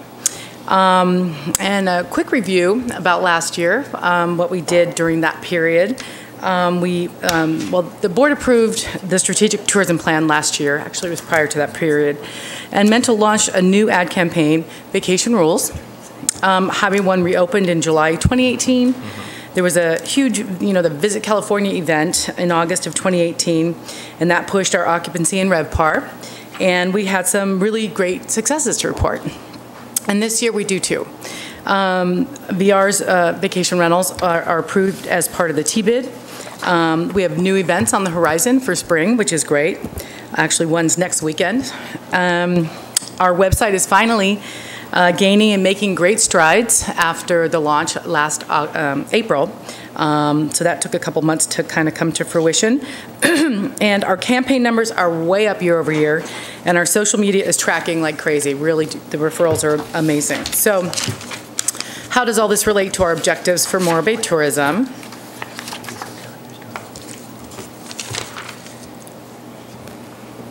So let me, is it, there we go. Okay, so, and this was all in your board packet, so I'm- I'm not going to kind of go over every, everything in here. Hopefully you had a chance to, to read it over. But um, basically, our objectives are on point, and, and they're trackable. And it- they're based on the strategic plan and the Adara impact results. Um, So first, we have, you know, connecting tourism with the local community in a more meaningful way. Um, Number two is increase web traffic and uh, doing that statistically means more bookings. Um, Increased demand for lodging means more occupancy. Um, Increased ADR, uh, for us, we're going after higher income audience. Um, Of without new luxury hotels, you know, it can be a challenge. Um, And there are a lot of new luxury, large hotels coming on in our county. Um, Extend length of stay. Um, We have a benchmark for that for the first time. That was really great. Um, And then, of course, we want to increase Adara Tract campaign-generated uh, revenue. And so, how do we accomplish these goals? There we go. Um, Well, we grow awareness about what sets Morro Bay apart from our comp set, um, as identified by the strategic plan. And um, we, we've been going gangbusters through PR to do that. And so this is a list of, these are just a sample of stories um, that were focused on outdoor adventure, um, sports and competitions in Morro Bay, wildlife, our seafood, um, and our uh, pristine estuary. We did a big sports push in the spring that resulted in the, um, some great press in the fall. Um, we had um, a post that uh, from the Mercury News that was posted on the aggregate news site Flip, which uh, uh, Flipboard, which was fantastic, got us more exposure. Um, we had a syndicated television program called Our California that came and uh, did a um, a really great. Um, uh, program based on the Back Bay and going to one of the, um, uh, excuse me, loss of words here, oyster farms, thank you, and then out to the sandspit for our lunch, um, and really um, focused on some of the um, fishing um, places, fish markets on the uh, Embarcadero, and um, like I said, it's syndicated. Um, it was a PBS program syndicated nationwide. We're still trying to get the numbers on that actually. Um, that ran in October. Um, and then we reached out to REI, knowing that they were opening up in San Luis, and we got a blog. They wrote a blog about us, um, and so about. So that was really um, some of the ways we're really trying to get out there and make sure, create awareness about what set Morro Bay apart from our comp set. And so, so how does this tally? So these are numbers for those. Uh, for July through December. Um, earned media impressions at 2.23 billion, including two viral stories. One was the baby and the mama otters being reunited, of course. Um, we pushed that out um, to help keep that going out there. And then another one was the paddling witches, um, which was really fun. It got picked up um, a lot of places, and so that was really great. And so the ad equivalency for all that was about 20.8 million. Um, publicity value, um, 33.5, and then uh, social media shares, which I think is really great. It's uh, another form of syndication, if you will. Um, these stories were shared 9,475 times over six months. Um, so those, when people share, they're sharing with their communities, and then they, they share with their communities, and that is um, that is influencer um, syndication. That's how that's how we call it. Um, which those are some good good numbers. Um, campaign fund. So um, in July and August, we really want to push, you know, what we need that uh, during that high season, and that's midweek business. We, you know, people are the the weekends are packed. Um, We've got rooms midweek, so we still want to keep Morro Bay top of mind to the public. Um, If they want to come during those months, you know, come midweek, better pricing. Also, um, we keep an eye on our length of stay. That's one of uh, our strategies, or tactics, I should say, to really try to help continue to grow our length of stay. Um, Our next campaign um, was um, Hang with the Locals. That was the wine campaign, Chris, that you were referring to earlier. Um, And, you know, it's the best. Like, when we go travel, we want to hang with the locals, you know, we want to do what the locals do. And so that was our, our focus on that with a call to action, you know, book a stay, get a bottle of wine on us. And um, one of the things, and one of the reasons we do it that time is because we're really trying to leverage the value of the statewide wine month of September. You know, want to leverage their messaging that's out there. Um, and um, we also want to focus on another one of our unique differentiators, which is that all of our restaurants here are locally owned and operated. They're not big box restaurants. You know, the, the, the big box restaurants we have are, you know, Burger King, fast food, nothing else. We, we really want to, that was definitely something that was identified in our strategic plan. So that was another uh, focus on that, strategy on that. And then the December um, campaign, holiday events. So we don't really, we don't have a strong call, or we don't have a call to action for that month. It's really a branding campaign that we do um, for November and December because it's all about the events, and we really want to just highlight, you know, you know, come for come for the holiday, stay for the fun, um, and so. Um, one of the things that's really great is that boat parade because that is unique. That is something that sets us apart from our comp set here in, our, in the county. Um, and even in uh, Santa Barbara, I don't believe, I think the next one is in Ventura or Oxnard to the south. Pardon me? Santa Barbara and Ventura. Santa Barbara has one. Oh, okay. Um, and so, um, but as far as you know, getting people over here from the valley, that's you, you guys are getting your rooms booked because we have unique events. And so, um, even though we didn't get the tall ships this year, and um, our grant funds were reduced, so we lost several of our you know Winterfest events like the snow. Um, our we were still ahead, and we were down, but we were still ahead of our comp set um, according to the STAR reports for December. So we are on a downward trend. Um, For this past six months, uh, we're trending down. So, um, and I'll get to that a little more in a minute. So what does all this, oh, I never showed this one. There you go. There's the December one. So what does all this mean? Um, so we're, we use Adara to show our, uh, what our digital, that our digital marketing efforts are working, tracking revenue and bookings as a result of our campaigns, right? So um, basically, we can show that they pay for themselves. So the media uh, spend, digital and print, for the six-month period was 139,000. Um, as you can see, the projected revenue on the top line up here, is that my little, right here? Um, shows that resulted in 449,000 in projected revenue. So that tracks as a ROI would be three to one. Um, three three dollars of revenue for every dollar spent on our advertising. I see you thinking, Joan. Okay, uh, if you don't have a question, I'll move on. Um, And while our year-over-year actually is not tracking on par, so on the fiscal to, whoops, right here, this number, I have an asterisk. So um, we are down uh, uh, about 45% year over year on tracked revenue.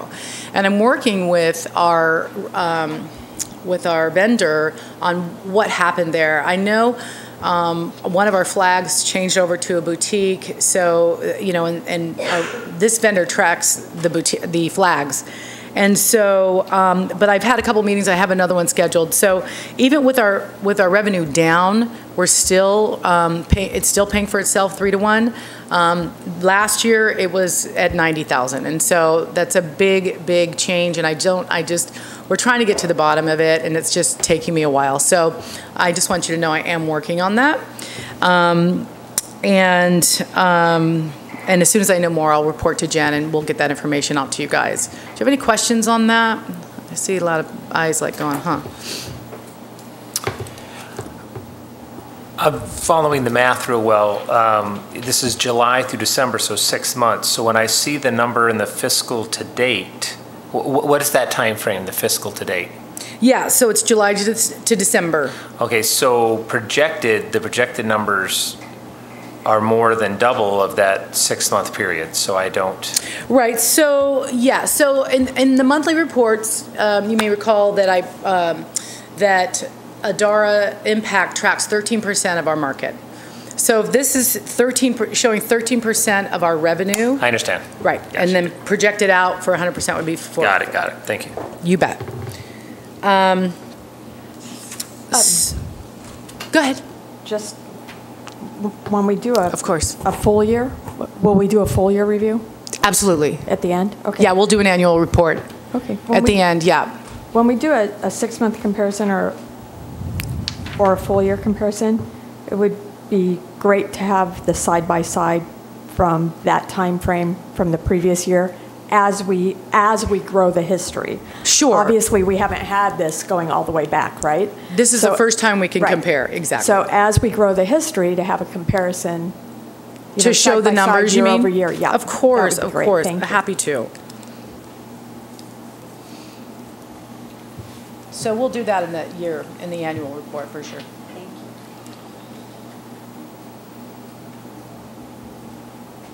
you. Okay. Thank you for that. Okey doke. Okay, so we've had some um, data movement that I want to share. So our length of stay, our benchmark um, as per our marketing plan from last year for the entire year was 1.7. And actually, I double checked as well, and for July to December of 18, it was 1.7. This year, July to December 19 was 1.8. So it actually ticked up.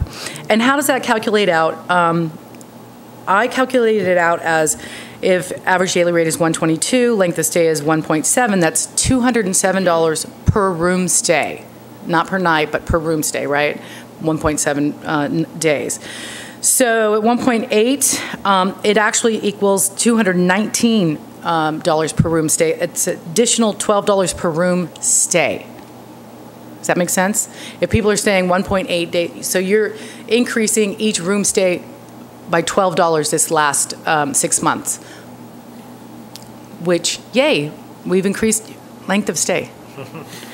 That's good. Um, it's one of those things where it's, I know it seems small, but it's really huge because year after year after year, we've been saying, oh, one of our goals is to incre- increase length of stay. And we assumed for years and years and years it, it was 1.5. And so with this new um, uh, reporting system we have, we actually found out it was 1.7. That's great. Well, now we have a benchmark to, to move it forward. And so I know it's $12 per stay, and maybe I'm making a big thing out of it, but it is kind of big, and we want to just keep going in that direction, of course. Um, so um, the next data numbers, uh, website traffic. Um, I did over three years because last year we launched the new website and it really kind of took a while to get us up to speed. So since um, July, or this period, uh, since 2017, it's up 11%. Um, Since July 18, it's up 2%. Um, We've, we just saw it going positive in November, and both December and January are up 50%. Um, And so I think we're just going to really see this um, go gangbusters here um, in this next half of the year. So that's good news. And then I just wanted to note that Morro Vacation, that hashtag we started using about uh, last June, it had only been used 15 times in the history of that hashtag, has now been used um, uh, 1,300 times. So that's about 200 times a month. So we really want to kind of watch the growth of that and see how that catches on in our s- and within our with our influencer market. Um, okay, so trends trends, occupancy, um, uh, ADR, and RevPAR. So what I did was I aggregated, I have a handout. I aggregated the STAR report because I really, I know it's not necessarily um, the whole story. You know, STAR reports everyone don't, doesn't report out on, but it shows trends in the market within our, our county. And so, um, I, we do see, um, so what I did is, you can see the cities down the right-hand side, um, July, August, September, October, November, December, and then the totals at the end there in the yellow segment, uh, Morro Bay's in blue, and you can see for this time period, everyone was down except for Atascadero and um, five cities. Is that right? Five cities, yes. So these numbers um, are, I mean, for us, we're only down actually 3%. So, but I wanted to keep our numbers in here with the rest of the group to show the trend that this can identify.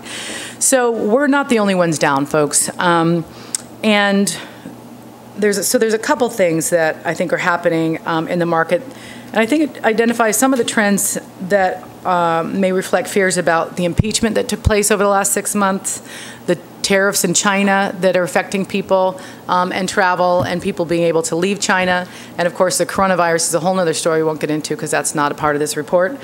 Um, but that's going to affect us as well. Um, a couple of my takeaways from this is Paso and San Luis have um, huge gains in ADR because of their new luxury prop properties that came online. Um, they had 180 new rooms come online, and their ADR is now 17.65. So, I mean, there is a definite demand for that market. Um, they're down 10%, San Luis Obispo. Part of that, I would imagine, is because they added so many rooms. You know, they still need to grow that demand, but it does seem really low um, to to uh, when Jennifer and I kind of discussed this through. Also, the Paso. The new Paso rooms, they only had 24 rooms come on, so their occupancy being down, um, that is, you know, that is something I'm not sure if that was necessarily um, driven by their new rooms because it was just so uh, so, so few, um, and their ADR is down. So you know, it's it's it's something we're all facing.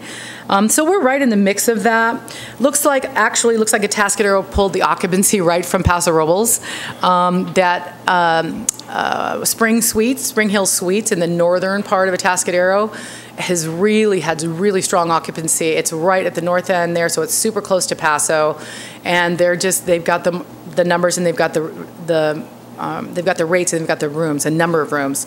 So. Um, um, also, Atascadero is on, on slate to have about 330 rooms come on board in the next few years. Um, and then, of course, we have a couple, as, as um, Joan mentioned, a couple of hotels opening up. Not necessarily um, big, huge number numbers of rooms, um, except that one will be kind of big up in North Morro Bay. Um, so we'll see we'll see what happens um, with that. And the Inn at Morro Bay is remodeling their rooms to a more higher end. So um, hopefully, you know, they'll be able to start um, increasing their rates, and I think that'll help everybody. Um, okay. Any questions on that before I move on? One quick one. yeah the San Simeon's really interesting that their occupancy's down 22% and their average daily rate's up over 10%. Did they have a new hotel open up or Not to my knowledge. Not to my knowledge. That's so big marketing swing. Yeah. Um, less rooms and higher rate. But, right. You would think it'd be the opposite, but um, okay. I just you know there's just might just be who's reporting.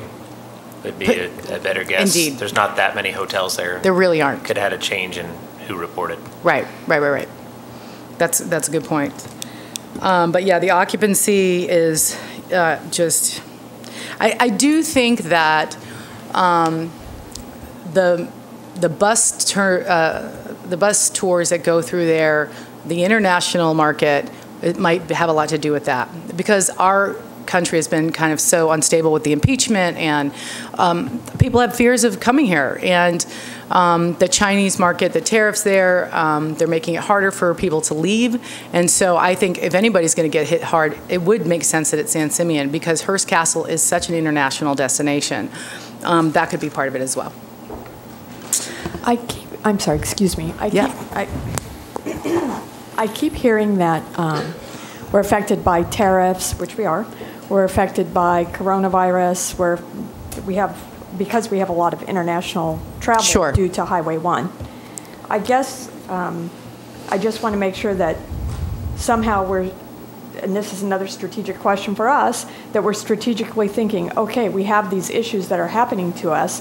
What are we doing to compress our domestic market? Because we've had a really dry winter.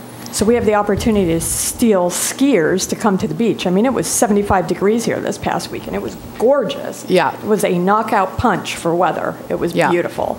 And, you know, so I, I just, and that's a future question, but I, I, or I think it's a future question, but as long as, I think we're okay on this chart. This, these aren't true numbers. Agreed. Because this is a percentage. Right. So these numbers are always a little deceiving to go over. Yes. Not deceiving from you, but from the pool. The Right, pool is right. not, you know, And this, not. and this purpose was just for trends, but Right. yeah. And so, you know, I look at Pismo being up with a n- 124 new rooms, and uh, so it's, it's a little, um, I think, I just, I'm wondering, I guess they have new rooms, so you would think, you know, logic is that their occupancy might fall actually because of that, because they're, they may not be filling, but it does show that investment is good for a community. So Right. from an economic development standpoint, these are good numbers. From a day-to-day heads in bed standpoint for us, we need to really examine Yeah. how we push on those. So I do have a couple comments, and I think that's a great um, uh, point to make. Um, So our marketing dollars go to our drive markets, because, you know, we have, we're, we're at the bottom of the, the funnel. You know, Visit California drives, and the international market, they're the ones spending the money on the international market. And so when things like, you know, impeachments and tariffs come into play, I don't know that we have the economic power with our budgets to, to make a difference. So, but what I will say is that our campaign numbers are up year over year. We are killing it with the campaign numbers and the and the referrals to the website, and our social media numbers are up. If, if you guys have been seeing those, and I've been reporting those out, you know, every month, and so I didn't want to go into the details here on that. So we are hitting we are hitting our target. People are responding. People are clicking and they are booking, but maybe they're not booking as much. Maybe you know. So there is a there is something going on. I think in the travel industry, not only internationally. However, international is is definitely a trend there. Um, but you know, and to your point, Chris, the economy is good, but why are people holding back on travel? What is what is that about? And so I think that's that's a question we need to have answered. And I'm, and I'm happy to get with Jen and maybe we go sit down with Chuck and, and you know, she's on the marketing committee at, the, at SLO CAL. And I'm also hammering um, Adara Impact. What is going on with these numbers? What trends are you guys seeing? You know, I'm, you know, I'm, I'm like, we're like a little client.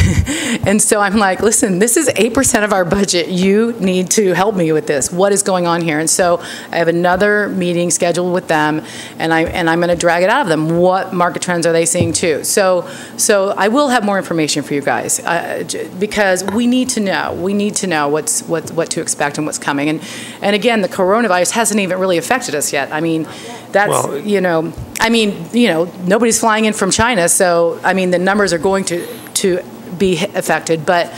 Um, that is in a report yet to come, but um, anyway, I just want you guys to know that I'm fighting. I'm fighting for you, and, and we're going to figure this out. So, Personally, I wouldn't read too much into the coronavirus and Donald Trump in terms of into the 2019 numbers. I think we're going to see some exceptional numbers January and February.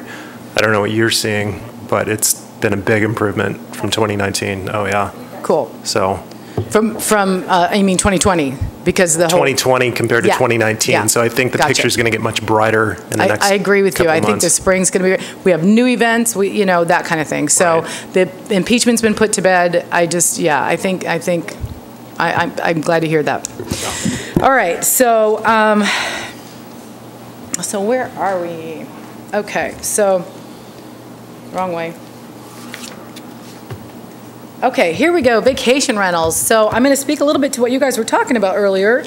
Um, so I wanted to um, talk about just some short-term um, trends that we're seeing that we need to that we can act on, um, which is people want good photography on their webs on you know their vacation rentals they're gonna they're gonna rent. Um, they have higher image quality expectations. Um, the public is looking for more panoramic views and, and that kind of thing. And I know I'm not, I, I don't know. I think Maggie left. Um, I know that's stuff that's going to have to be figure, you know, vetted out with, you know, the, the vacation rentals themselves. But I did want to talk about the media plan and the influencer plan and how we're going to be going after that market. And And quite frankly, um, there's not a lot of um, opportunity, like display ad opportunity, like on a VRBO. VRBO is owned by Expedia. Um, I have been, you know, going back and forth with them, and they are going to be launching display advertising opportunities in a couple of months. They don't have a date. Um, they don't have a, a cost to buy in because at this point, Expedia, to even talk with them, you have to spend 10 grand a month with Expedia. And so I'm hoping that's not going to be the case for their VRBO. Um, that's, I'm in the middle of finding that out. Um, and that's and they also own HomeAway. If I didn't mention that, um, Airbnb doesn't offer display advertising, but they do have a magazine, and they'll write you know articles about you. And so we've already been putting together a series of pitches that we're going to be sending to them on behalf of our you know why people should come to Morro Bay. You know, get that on the um, Airbnb site. Aside from that, TripAdvisor, I think, is really where our sweet spot is because they um, have vacation rental inventory and they have vacation rental consumer segment. So we can, they actually have inventory available that we can purchase. Um, we're looking for eight, at about April to get that going for the vacation rentals. So that'll be about four month, April, May, June, three months um, of this fiscal to you know start targeting that. Working right now with Adara to see how you know who they track, if they track um, Airbnb, and if they have partnerships with Expedia, and, which I know they do, but I don't know if they do with the in the vacation rental inventory. So a lot of stuff that's happening right now. But I, I love the discussion you guys had. We can target people that are looking for this segment specifically through TripAdvisor um, right now. Um, so that's probably where we're going to go. Um, what the messaging is, another topic you guys brought up, um, you know, I think that's something for discussion as well because if we can figure out a way for, you know, maybe we have all the wine down at the Welcome Center and and whoever gets a bottle of wine, they go to the Welcome Center to pick it up. And so there is a, you know, there's a way to get distribu- distribution out there to vacation rentals. So, um, so anyway, working on that. So I have two final things here. Um, we're growing community relationships, like like we talked, is one of our one of our goals. Um, we have new um, working with the arts community, working with museums, working with the sports community.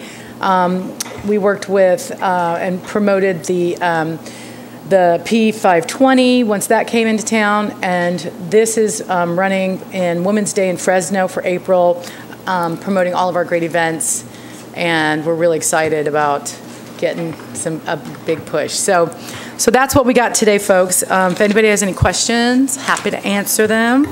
Any questions or feedback from Marianne?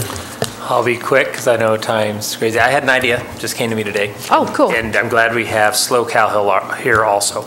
Um, I'm no expert on all these numbers that you're projecting, but I just want you to know that I have faith that you guys are doing your job and you're working very hard at it. Thank you. I'll throw out an idea to you. Is there a possibility through your company and/or through SLO CAL to provide training for hoteliers Right. on these items that are available to them? I'm just guessing that a lot of our hoteliers are not aware of a lot of these things that are available to them. Because I don't look at your job as, your job is not to fill our hotels. Your job is to help us fill our hotels. But if individual training could be done on a quarterly basis or Yeah. bi-yearly, where SLO CAL and you are involved and teach people how they can better market their hotels, we Yeah. would all benefit. I love that idea, and we've done it for um, DMOs before, very successfully. Um, we, you know, created a panel. We brought in our teams. You know, I'm happy to happy to you know partner with SLO CAL and do it here in, in um, Morro Bay. Maybe that's a, would be the model, perhaps. Um, um, we had a great turnout, um, and we went through the programs that we do, the public relations programs we do, and why we really ne- need the tourism partners within the community to connect with us and give us their information. So what's new? What are they celebrating? What's their latest promotion? I know Megan's really great at reaching out and getting everyone's promotions and we get it on the website. But if there's a if there's a, um, a media opportunity or a press opportunity, we can we can help facilitate that if we get that content from you guys. And we all know everybody's wearing multiple hats, you know, in, small business. Um, I I'm one myself, and so Um, it- So I'd love to do that, and, and I'll talk to Jen about it, and then maybe we can make that happen. I think I, I- it was really good, and we felt like the response we got afterwards, because people were able to wrap their brains around what would happen with the data that we would get from them, increased the data flow, increased the communication. And so in the end, I think was very successful. And with a focus of training them on what they can do themselves. Meaning, Yes. you can come forth saying, here's what's working for us, and you might want to try that also. You know, Right, Targeting so- ads to here. Individual hotels can do their own ads. Right, and so, yeah, it would, be- we would cover advertising, we would cover PR, we would cover social media, um, and, and so forth, yeah. I, I just want to say thank you. I know I do ask a lot of questions and you feed back to me, but this is the only time we get to talk to you during the month. So as I'm thinking about things as we go along, I, I like to get out there. I just want to let Oh, you know that I appreciate what you it. do. I just want you to know, Joan, I'm one of those people too. I ask a lot of questions. So I appreciate, I appreciate when I find another like me. So don't think twice about it. Any other feedback? Okay. Everybody we- good? To have a motion to receive and file? Public comment? Second? Public, Second. public, Oh, excuse me. Nope. Sorry, public comment? Seeing none, we had a first and a second to receive and file. We don't need it. So I move to approve the mid-year review mental marketing presentation. Is that correct? Second? I'll second. All, all, all in favor? Aye. Hi. Opposed? Okay. um, Morro Bay Visitor Center location. Scott?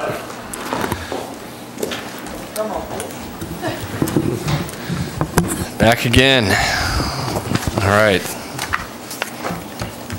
So I will try to make this brief because you've had the uh, staff report and the proposal from the chamber, and really it's about hearing from you, not from me.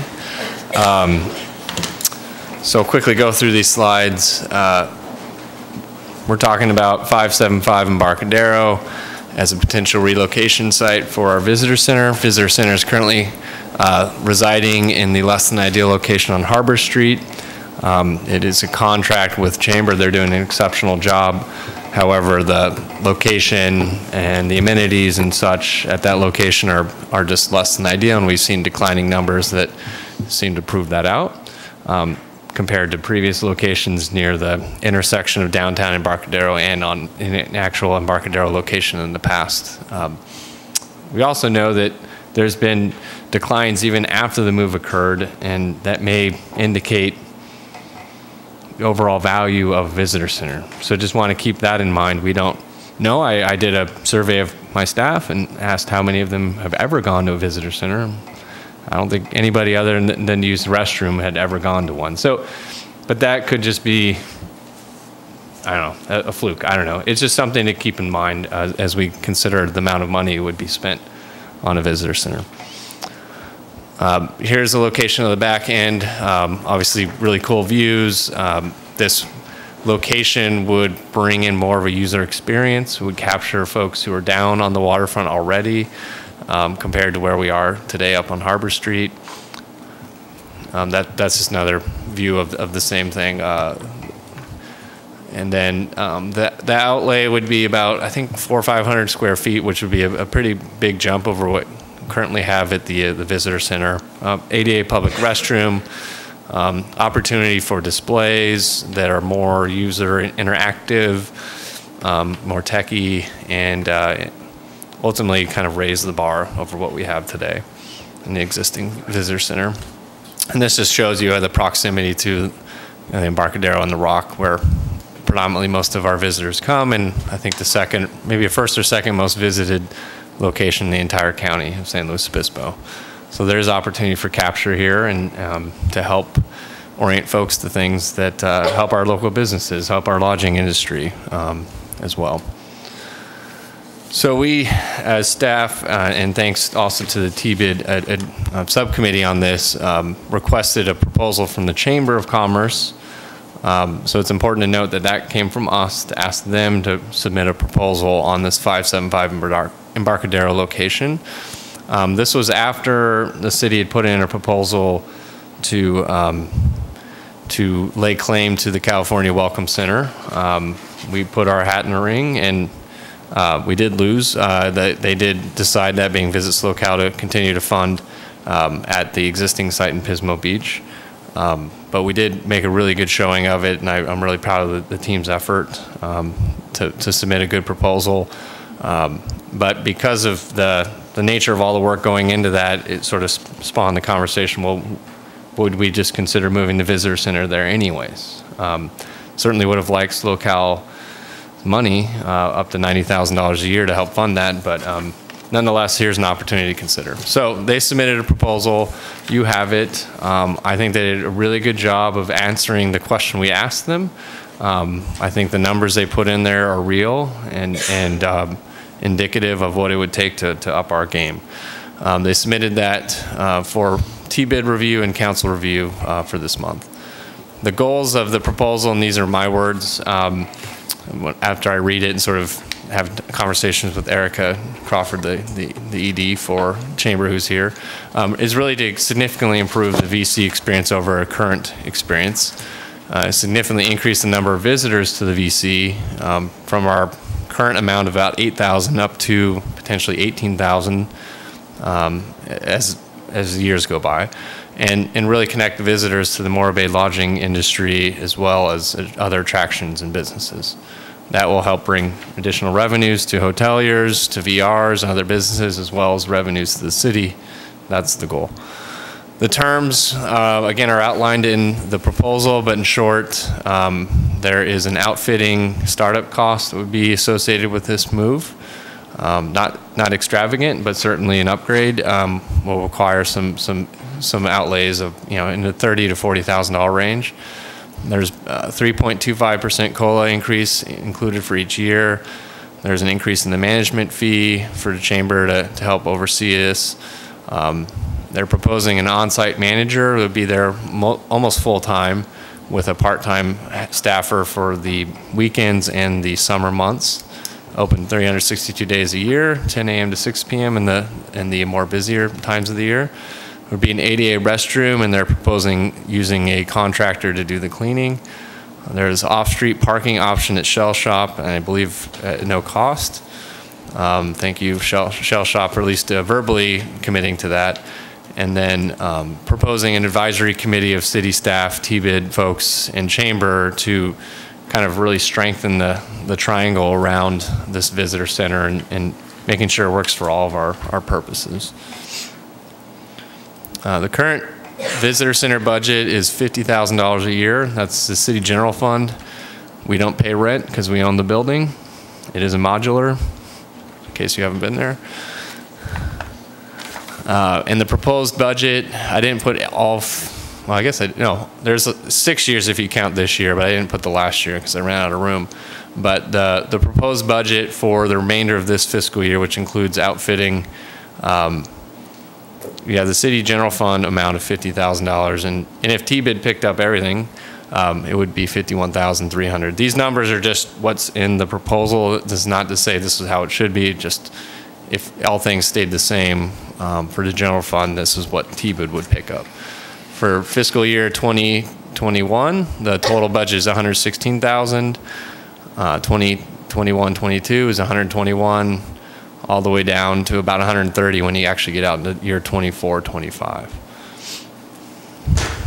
So given given that, and I know you hopefully you've all had time to kind of digest the, the proposal and really think this through. I mean, there's some high level questions and there's also some more targeted questions um, that I think you should all discuss, uh, considering what the investment would be to, to really up the, the game for our visitor center. And first is, should we locate the 575 Embarcadero? That is a very limited opportunity in terms of that specific site. They, I'm sure they have other interests um, from other folks to use that highly coveted retail space. Um, so is there interest in, in moving forward? Are there thoughts on the chamber proposal? Anything in there that you liked or didn't like or things that could be modified? Um, should T-bid contribute funds to support a new visitor center? And if so, how much? And are there alternatives to this location? To this proposal or to this method to the method of how we provide a visitor center experience. Um, kind of want, I know that's a lot to ask, uh, and I'm sure you've all sort of been having these thoughts flow through your mind. Uh, That's how it's been for me, and I realize we're sort of, these are sort of long-term and short-term things, and we've always sort of been stuck with that with the visitor center. We get excited about it, and then there's no opportunity. We haven't talked about it for a while, but now there's an opportunity, and sometimes that begs the longer-term questions, and we get caught in a loop. Um, So I, I, I just want to recognize the challenge of, uh, we all face in, in, in kind of grappling with the short-term and long-term, but nonetheless, the opportunity is in front of us, and it's really important to hear your thoughts. Thank you, Scott. Thanks. Chris, I think you were on the subcommittee? No. You weren't on the subcommittee. Who, who was on the subcommittee? Well, I met with Jennifer once over this, so I don't know if that meant I was on the subcommittee. I, did that mean I was on the subcommittee? Then it was, it was me, okay, sorry.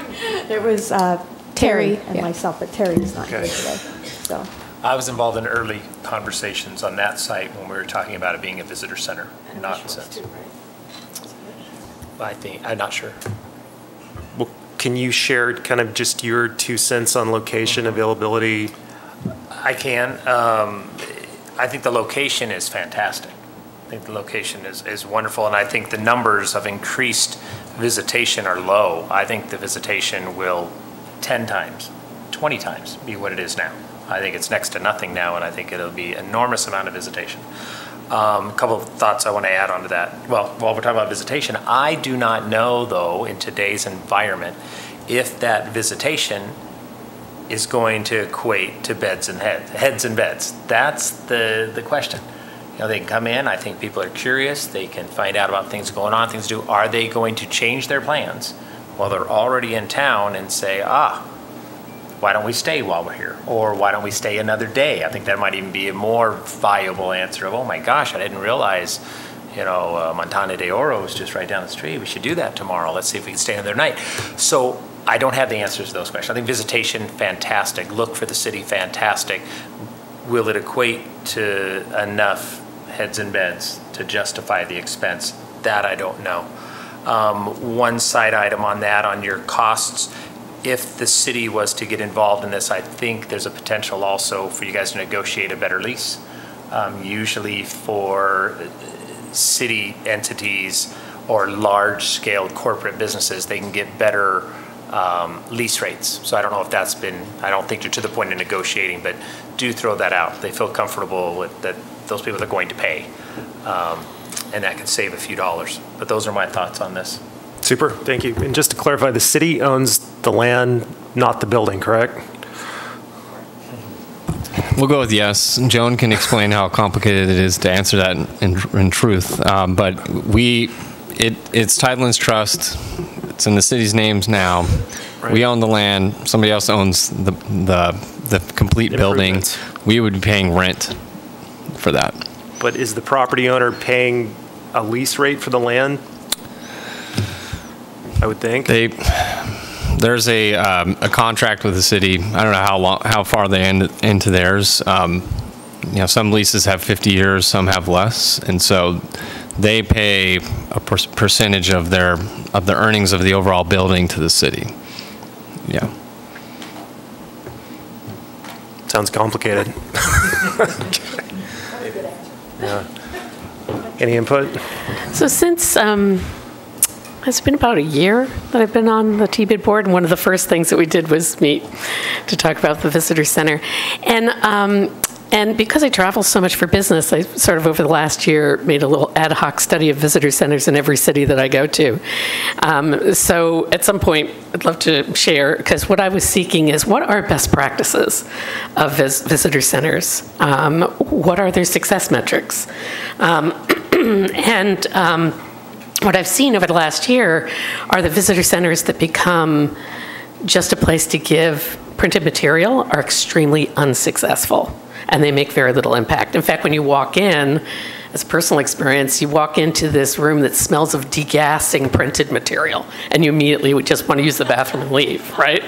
So, uh, so I think what, what I'm most interested in is visitor centers that are successful are focused first and foremost on the visitor experience, not on being a center for the for the the um, for what the community wants to try and sell. Um, So in other words, you know, it, it becomes an experience for the visitors that really highlights that as soon as, as soon as a person steps in, they say, this is interesting, I'm glad I came. And um, so that's that's what I want to I want to know that, and I want to know what are the ways. What's the plan for making it a best practice visitor center, not into the worst practice? Um, and um, and then what are the success metrics? I would think that beds and heads for current visit are, will be low.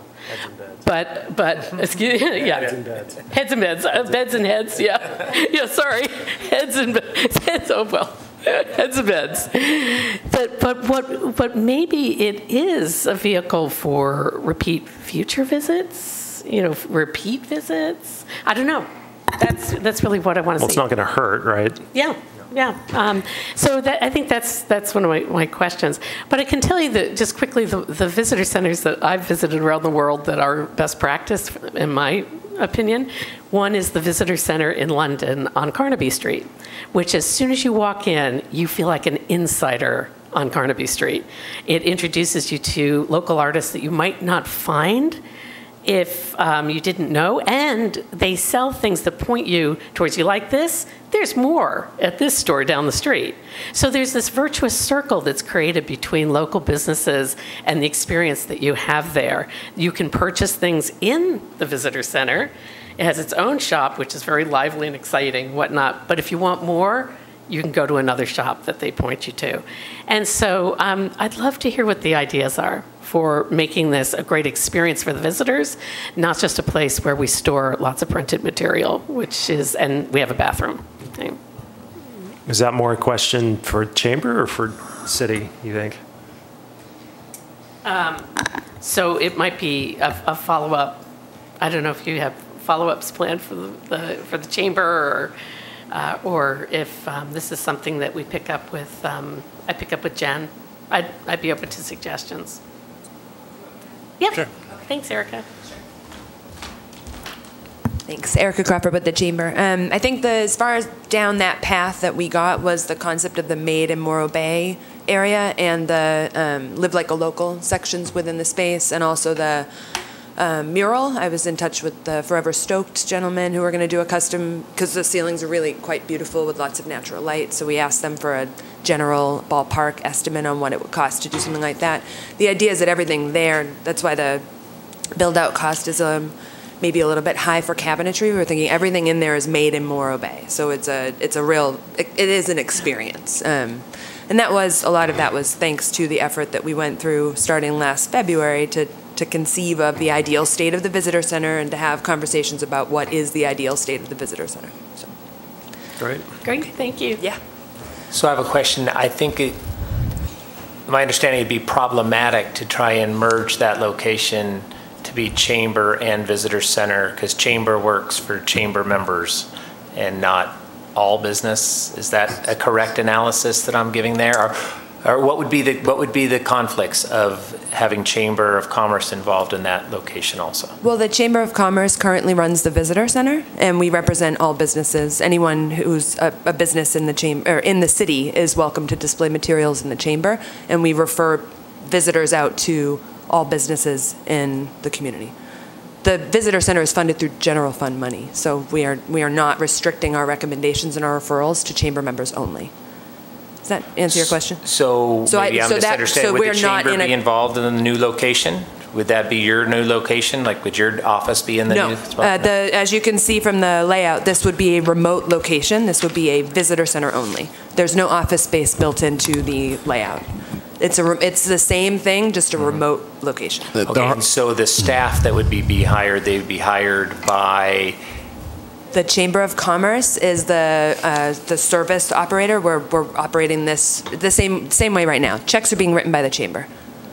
and So these are partially funded by employees. TBID is what's, the Mhm. proposals. cons- The proposal conceives of, yeah, I mean, we, we tried to build it out. This is what it would actually cost to do this. We answered a very specific question. And I think that's what we, that's what I've talked about with staff and talked about, I think Joan and I had a conversation about this, um, and my board too. It, it's tough because we're, the visitor center we've been talking about for a long time, we were asked to propose how, you know, how to operate a visitor center in this location. And even in our board meeting, when we considered the proposal, we were running all around, well, what about, what about, and asking all these other questions, and we had to come back around and say, we're, it's just this, it's this proposal. How does this proposal feel? How does this sit? So we had to stay really narrow in that. Um, so, so the question that you're answering, it would be the same, or asking, uh, the same way that we're running our staffing now, i.e. the chamber is writing checks and funding is coming in and all funds are expended out when we take an administrative fee that covers um, various costs of managing the contract. Right now, it's $7,200 a year. This conceives of 12,500. That's it. Thank you. Yeah. Um, And w- with the board here, no matter how good some of this sounds, I think our responsibility is with T-bid dollars is how it's going to help the tourism business and the, and the hotels and the vacation rentals. We have to wipe our mind of how much it may help restaurants and how much, and that's a, a side benefit. But if we don't see fifty to seventy thousand dollars of benefit, you know, I then. don't know it- how you would track that. well, and more than that. I- We couldn't, but even more than that, because your taxes paid upon that, that's what we have to figure out. So, hmm, Do you want me to stay up or go down? uh, well, stay in the vicinity. What's that? You can stay in the vicinity, that'd be great. I might Stay in need the- oh, you. yeah, I'll stay in So I, once I got the packet, I, I read this with great interest because I've seen lots of iterations of the visitor center over the 20 years I've been a resident in town. Um, And I do think that the chamber staff is doing a great job of shaking the hand of the visitor and getting information into the visitor's hands when they come into the visitor center, no matter where that location is. Doesn't matter where that location is. Um, So simple question is, absolutely, visitorship will increase if you put it down on the Embarcadero. No doubt about it. It would also increase if you put it on Morro Bay Boulevard or Main Street. No doubt about it. It would increase if you put it in City Park. You betcha. So is it going to increase if it's moved? I believe it will. It would increase at Highway 41 and Main. Uh, But I think that the conveyance letter from the chamber really, really did a great job of spelling this out, as in, we were asked to look at one location only with a very narrow scope. So the very first question I have then is, is this the right location for the community? Um, Remembering always that this is about the guest. It's not about Nancy or Joan or Stephen or uh, the Pleasant Inn or the Galley Restaurant. It's about the guest experience, right? Then I started thinking, wow, we're going to have a really, really superb, state of the art visitor center. And then what happens to the rest of our product that we're putting out there with our guests? We don't have matching banner flags throughout the community. We've got like three different banner flags on the Embarcadero right now. Nothing matches. There's a crosswalk that's partially painted. You know, so are we living through then on that very first initial guest experience all the way through what they're doing in our community? So there's all these bigger, broader questions. And then there's the budgetary question of 650-ish thousand dollars over five years. Most of which would come, well, all of which would come from the general fund and T-bid funds per this current proposal. So I, I met with Scott because I wanted to um, convey this. I don't want to convey this in a negative way. I want to convey the message out in a positive way that I do think we need to do something with our visitor center, but I'm not sure that $650,000 over five years, that location is the right thing. Because remembering that if we pull $75,000 out of our budget for this, that's going to be $75,000 removed from the marketing area of our budget. It's not going to be able to come from the reserves every year. Can't come from the reserve fund. It can this year because we're in a rush and the reserves are high, but that's not, it's going to come from the operational budget, period. So we already have some static costs in there with staffing and other things that are not going to go down either. And I have a concern that I don't want it to hit what Marianne is doing as she tries to build momentum for us. That's why I really wanted to see the T-bid overall budget and how it would be affected over the course of this come back with this. But what we have is the number of $650,000. I'm inclined to say I would rather see us, because we have an option in here of giving another idea. My other idea would be for us to say, you know what? This was a great proposal in this location when we were going to have $90,000 coming in to help support it from Visit SLO CAL and Visit California. But let's maybe go back to the chamber and see if they would partner with our community. Let's use maybe 10 or 12, maybe $15,000 of our reserve funds this year to have the chamber do an economic feasibility study of the future for a visitor center for our small community, right? How maybe they could pull partner community chambers into it so that we could become a North Coast regional visitor center with an eye on Morro Bay, and what different mechanisms might be available for funding it. Because in the report, it shows that only about 18% of folks who come into the visitor center are asking for lodging, and that's all types of lodging. That includes camping at our state campgrounds who don't pay TOT in to support our community, right?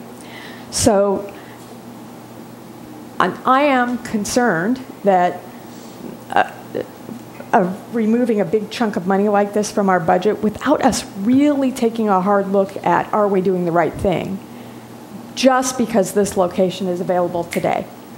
Because locations come up along the Embarcadero all the time. I mean, there's another location two blocks down, or a block and a half down. So, so I, I really want to make sure we're making an educated, well-rounded decision because this is so important to our community. That's a lot of money for this small town. So Joan, are you saying that you would be in support if the deal points were different and T-bid was contributing less? Or you just want to analyze the entire situation and take a step back at this point? I'd like to take a step back and analyze the entire situation Hmm. because I think there's other ways of funding this too. So, what are the available mechanisms for funding this? Mhm. I had a conversation with Scott, and I'll put it right out there. There's somewhere between 500 and 1,000 business licenses that are pulled every year. What would it look like if every business license had a, and I don't know if this is legal, that would be a question for legal, but we don't know because we haven't asked it. If every business license had a $25, because every business in town is touched by tourism, the dentist, everyone. They're not touched directly by the tourist, but they're touched by tourism in this community. So what would it look like if they had a $25 or I don't know, maybe a less or more? It would have to be looked at line item that said visitor center administration, business, the business side of the visitor center administration on there, so that we all help to pay. Yeah, well, maybe not the service industries, but definitely restaurants, retail, right? I don't know. I uh, I mean, I don't know. I just threw that out there as, as a net conversation catcher. What conversations can we have? We haven't had any. So Okay. I- I'm inclined to say, let's focus more on how we're doing this to make it right. Because I believe that visitorship can be increased through a visitor center. I believe that the future can be compressed by a visitor center, and I believe that our visitor center staff and our chamber is doing a good job. And I believe that our city staff is working hard to figure out how to link all of this together. Hmm. So I think in order, we've been working here and here and here in kind of silos. Let's push that all together and make a comprehensive plan for this, just like we did, made a, a 10-year mindset path to tourism success. This is part of it to me. So I'm inclined to hold off. Okay, any further discussion? I I actually agree. I think that um, you actually explained to me why, I- one of the questions I asked was, why have we had so many different visitor centers even since I first started visiting Morro Bay? And I think a lot of it might have been, it's, it's driven by, oh, there's a place available, let's rent it.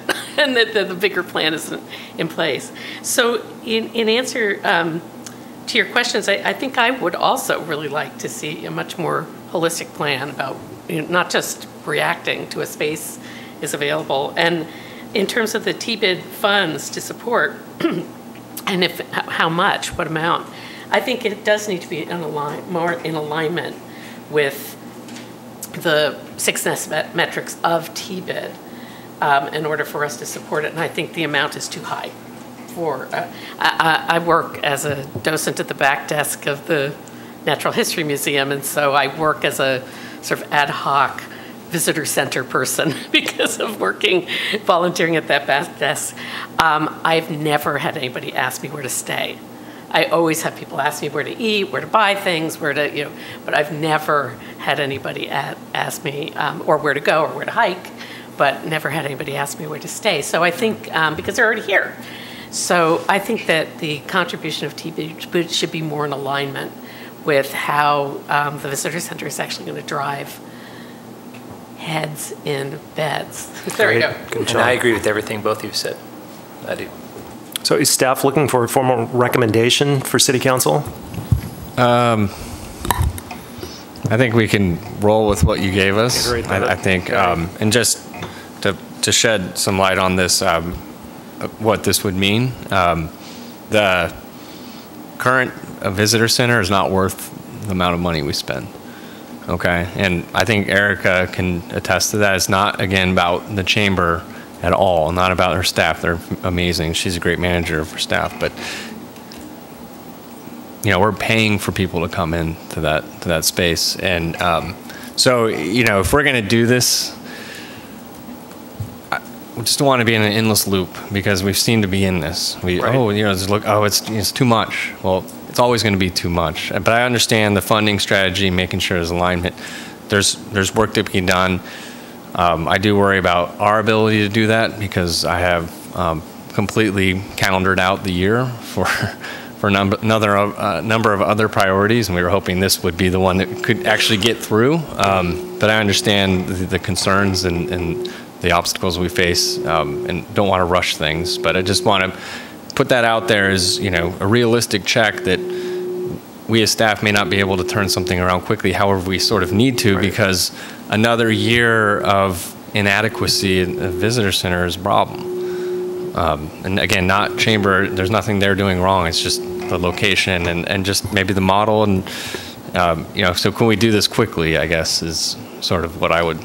Can you foresee any type of modification of the proposal that would put less burden on T-bid if we're not seeing the overall benefit, it sounds like? I mean, that potentially, I think the same, same issue would probably apply. Um, you know, the general fund is also hit, you know, we're, we're in a similar bind of like really focusing on strategies and is, and, and priorities. And is this, is this where we want to, Right. you know, are we willing to take on another fifty, sixty thousand dollars? I think the uh, SLO CAL money made things really appealing because it was like, well, that's it's not free money. Remember, all of our folks pay into that, but it just it was another pot of money we hadn't ever considered. So it it certainly made a- everything easy. And I think that sort of put, pushed us on this path to maybe fast track this up from a different funding mechanism. So.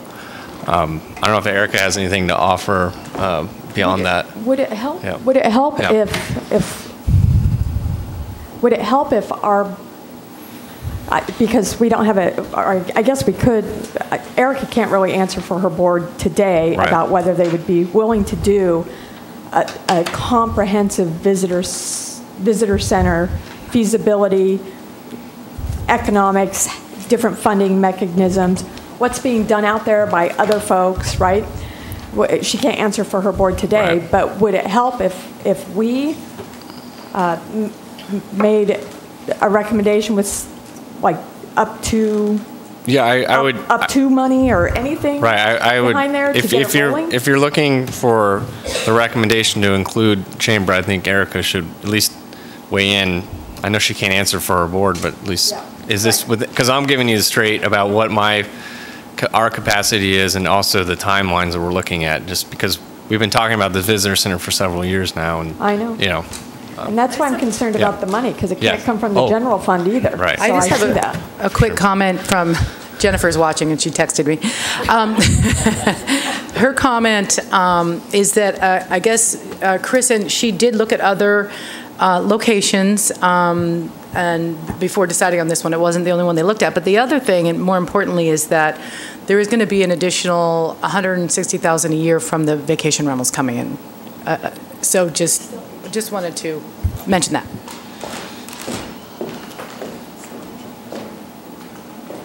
Erica, you have something?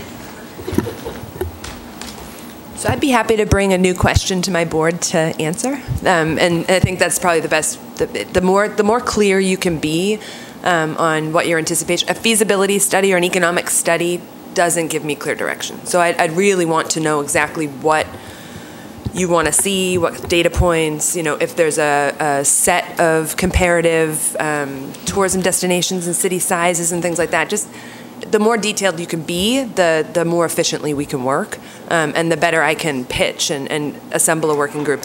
And one of the things that I liked about this effort is that it did, you know, the the triangle, as Scott said, you know, to be more strategically aligned with TBID is something that I would love for the chamber and the city and the TBID to be far more strategically aligned. And I think that the TBID's role in getting visitors to the destination and the chamber's role in making sure that the destination is strong and that our visitors understand how to experience the destination is a partnership that we need to improve, um, frankly. And so I think that this kind of an effort working together, I think, will be really positive for the whole city. Good, thank you. I, I think hands down, it's a better location. It's just a, you're right, it's just a matter of, you know, if there's an 18% benefit for T-bid and we're being asked to pay half the bill, more than half. So if, you know, hearing what our- my board is saying, it sounds like we would like a modification of the proposal to some capacity would help. Is there any public comment? Any further public comment? And maybe we as T-Bid need to discuss again, maybe it can be an item on next month's agenda, and we can spend this next month coming up with some ideas uh, and investigating this uh, individually, because I'm curious about it. The, the big piece I'm missing is the T-bid dollars, are they well spent? I mean, that, that's the piece that I don't have the confidence in, I don't have the knowledge to, to back that. Yeah. The- I love the location, I think it Yeah, would help I- the city. I, I want to agree with Chris. I, I think I'm being asked to, I, I think it, it's quite an investment, it's quite a chunk. It's being taken out of other things. Um, and um, I want to know what, what are we looking for it to move? I mean, if, if a visitor center will help drive length of stay, stay, that's the metric we're going to drive with it, great. Then I, you know, then I have a way of judging what we want to see from the visitor center. As I said in the best practices, when I asked, you know, other uh, visitor centers, what are some of the best practices? They all said it, it has to be thought of as engagement. Physical location is not, and printed, printed pieces are the old way of thinking about a visitor center. A new way of thinking about a visitor center is it drives engagement, and it drives engagement through a partnership between physical location and virtual. So it's it's it's uh, smartphones driving you to different locations. It's so it's thinking of it just as we need a physical place. That's an old way of thinking about a visitor center that you're going to drive traffic to a parking lot. That's not the way best practice uh, visitor centers think of themselves now. They think of themselves as a partnership to engage people through a partnership of virtual and physical location. So that's the kind of thing I want to hear. And um, uh, is how how is the space going to drive engagement, and then how is it going to drive specifically T-bid driven metrics, um, like maybe length of stay or future visits or whatnot. And that's what I really need to see to make a decision for And- T-bid. And for the community, for me, for the community, I, I want to know that our general fund dollars, because the, if 18% or 30% or whatever the number is comes from TBID, that number comes from TBID, but the rest of it so far historically has come from the general fund. So for me as a resident, I would like to know is there another matrix, funding matrix that we can use? Are there practices out there for another funding matrix? Because I would love, quite frankly, to see the general fund dollars from the visitor center go back to the general fund to support all of the projects that Scott's saying are demanding on staff right now. So is there a way to do it virtually that causes that to go back there? Because as a resident, I- you know, I would like to see some of the street restriping moved up, or whatever it is, you know? So, uh, so for me, if we're going to study this, which I think we should recommend that we look harder at the entire, organically at the entire picture for a visitor center, then those things, we, we need to drill down on what those things are that we want looked at. And that's probably next meeting or. And obviously, the space isn't going to stay vacant forever, so if it goes away, it goes away, and everyone's fine with that. Mm-hmm. I think we had further public comment as well. That has to be the least important. I just wanted to throw in, because um, timing is of the essence. You know, the uh, visitor center contract as it stands now will expire on June 30th. So I do think that this effort, because it's going to feel real big, um, so to try and figure out what the question is that we're answering in, a, in an efficient, quick kind of way is, is really important to me. Um, yeah, in the next couple of months. And Okay. Erica, I want to say thank you to you and your board. Oh, yeah. Because you put a lot of work into this. And thank you, Jennifer. I think you're watching at home. Jennifer? Hi, Jennifer. Um, Thank you to you and your staff. I see Megan over there on her birthday putting up with this. um, For all the hard work that you've put in on this, because I, I know it's been a lot of work. I- It's been a significant amount of work, so thank you very much for Yes, I- everything, because it's spurred a good co- conversation, Hmm. and our community might be able to move to the next level from this, which could be really, really positive, so thank you for that. Great. Hi, thank you. Any further public comment? Seeing none, uh, declaration of future agenda items. Visitor Center Matrix? Hold, I, I think if you want uh, Chamber to go back with some, are you going to wait to have your meeting next month to, to, What do you mean? Go ahead. I don't, do you want Chamber, do you want s- s- staff to carry forward a recommendation to council to say, Chamber, can you go study these things? so we do that. Yeah, I would, I would do that today as opposed to waiting. So, Make a motion to, are you looking for a motion, Scott? Yeah, I think, I think at this point it'd be helpful, and, and as Erica indicated, more, the more specific, if, I understand it's hard to do when it's a, a global topic, but, you know, because you could spawn off a $200,000 study or a $20,000 study depending on the questions you're seeking answers to. so some of the com- comments that I've heard from you all are best practices, right? Best location.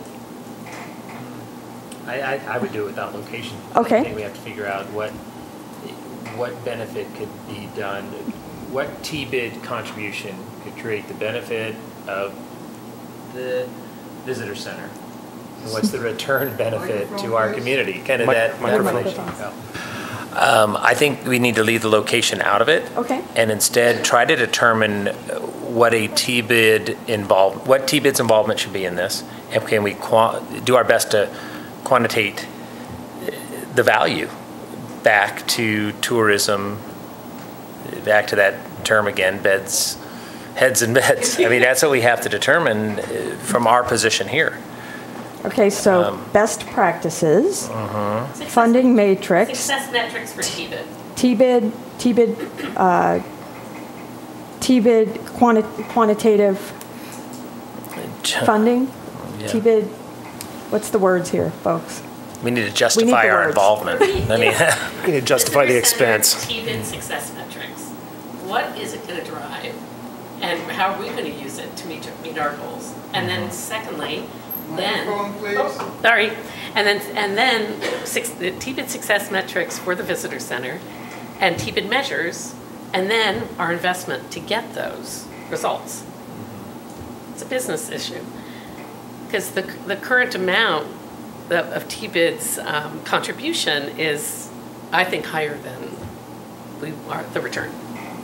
So we'll, Okay. Do you want to try and put that into a motion? Um,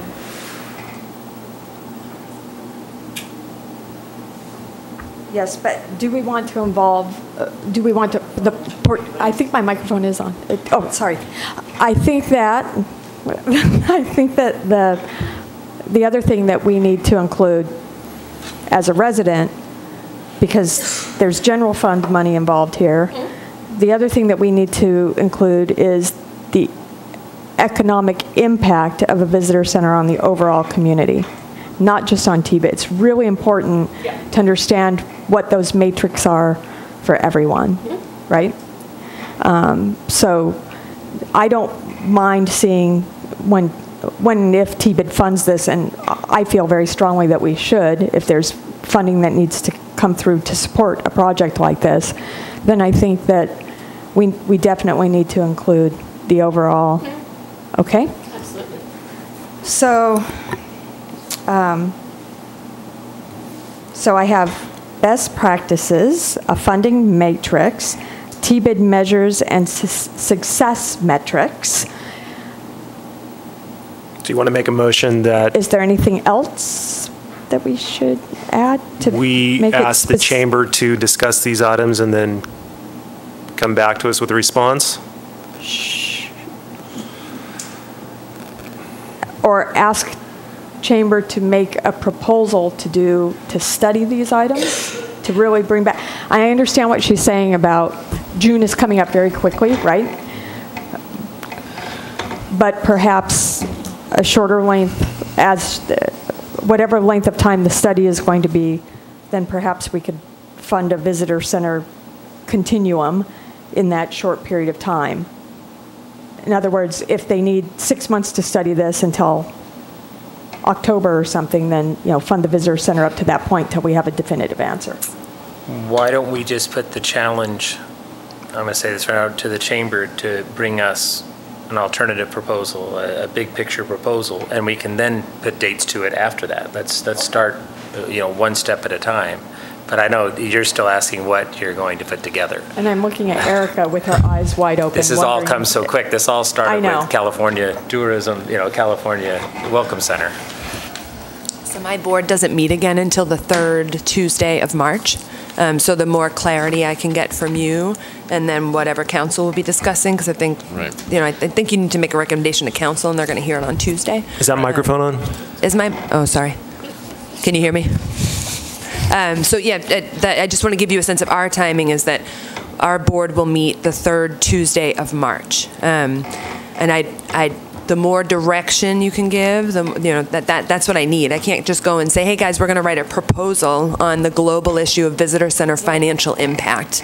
Um, That, I don't think that that will go well. I think we're just looking for some justification that what we're being asked to um, pay, provide, is going to, you know, have a return. I don't know that the response, I think it's a discussion for my board to understand that the responsibility for producing that data lies in the contractor providing the service for the city. Right. You know what I mean? Uh, The, Okay. the chamber is a contractor to provide a visitor center, so I just, if I'm asking, you know, we also have staffing constraints and goals and objectives to Sure. deliver, so we just need to be really clear on how we're all working together to solve this problem in our community. Right. Right, and, and please rem- remember you're directing the recommendation to council, and you could say, we, we recommend that council consider requesting the gotcha. chamber to do X, Y, and Z, and then um, council will do, take that recommendation and accept it or modify it, but it's important to hear what you want council to do, Okay. Yeah. or would recommend that they do. I know. I- Is the board interested at all in having a comparisons of a, of a couple of like-sized coastal cities? So what are other coastal cities that are just 10,000 folks that are visitor serving? Are they even having a visitor center? I mean, yeah. Capitola is 11,000 people. No? No? See, there you go. So let's maybe, ha- uh, it would be interesting to know from a couple of different perspectives why they don't have a visitor center or why they do. So I don't know, I'm just saying that. So, so what I'm hearing from staff is that, and then from the list from the board, right? Mhm. Are we, okay. Is that You're making a recommendation? staff is making a rec, or, no. The board would like to make a recommendation to city council. Correct. To ask the chamber to, s- to request that the chamber study, uh, do a study on visitor centers, including best practices, funding matrix, uh, the TBID uh, measures and matrix for success and funding proportionally, and a comparison of, or a small sampling of what other like-size communities, coastal communities, are doing in terms of do they have a visitor center or do they not? Communities of 10,000 folks, ish. Do you have a second? A second. Further discussion? All in favor? Aye. Aye. Aye. Aye. Sorry, that's a tough. That was a mouthful. Okay. Um, Future agenda items? Right. Just want to be sure. Declaration of future agenda items? So we had Maggie speak at public comment? Hmm. I don't know. If we want to support that or not? I'm, I have a question for staff on that. The vacation rental, it's not a regulation, what is it called? Vacation rental overview? What is it? Is it a The, you mean the ordinance? ordinance? Thank Yes, you. yeah. The vacation rental ordinance that's coming forward, we're not a regulatory board, we're a marketing board. Right. We're really, is that our, do we weigh in on stuff like that? Is that something that's in our purview? You can. Um, it, since you now have, uh, you're, you're partnered up with the vacation rental community and you have a, a board seat, um, you absolutely can review the ordinance or the kind of overarching policy that would come forward from the committee. That's something that this board could sort of say, we think this is a good thing, or we don't have an opinion, or we think it's bad. I mean, there's no reason why you couldn't do that because you are now part of, they are part of the, the T-bid. Now, it, there are some cities that only run their vacation rental policies through the planning commission and council. Some, you know, run them through economic development um, subcommittees or, or committees of council or advisory committees as well, just to understand the economics side. So that could be something this board does. I think I'd feel more comfortable if your negotiations with the vacation owners and city council, if you had a list of questions that you wanted to run by us, I would feel better if they came that direction instead of us endorsing Maggie's and their plan now. I think, it- I'd feel comfortable if it came Are you That way. close to having that done, the plan? I don't even know where it's Um, we, at. We've met, uh, the committee's met about eight or nine times in the last three months, four months, and winding down the work. In the next, I would say, next couple meetings, we should be done, which means it it would see the light of day in planning sometime in uh, April. And planning commission can, they, they actually are regulatory. They absolutely have to, because there's a zoning components, and they, they are the body that recommends or makes decisions on zoning. So they, they have to, they have regulatory component to it. Whereas TBID would be an advisory and, you know, if, if it felt so inclined to, to consider it. But then in terms of how that would work, wouldn't it be after them? Because then it would be pretty much set and then it would go to council? Because we can't really change anything. No, you on it. can't. You could just provide comments. Right. Right. Okay, so whatever you want to do now that we understand. So future agenda item? Nothing? I wish Carrie was here. She's not. Can we wait and ask Terry next time at the next meeting? I think we're just declaring future agenda items, so if No, there's if she wants it to be a future agenda? Right, so if we're not going to Yeah. declare a future agenda item, there's nothing to do. Yeah, I mean, you would, in theory, be able to make it to your April meeting if next meeting you all decided to make it a future agenda item. It could probably still work timing wise. Okay, anything else? Going once? All right, thank you, everyone. Meeting adjourned, 11:49. Have a good day.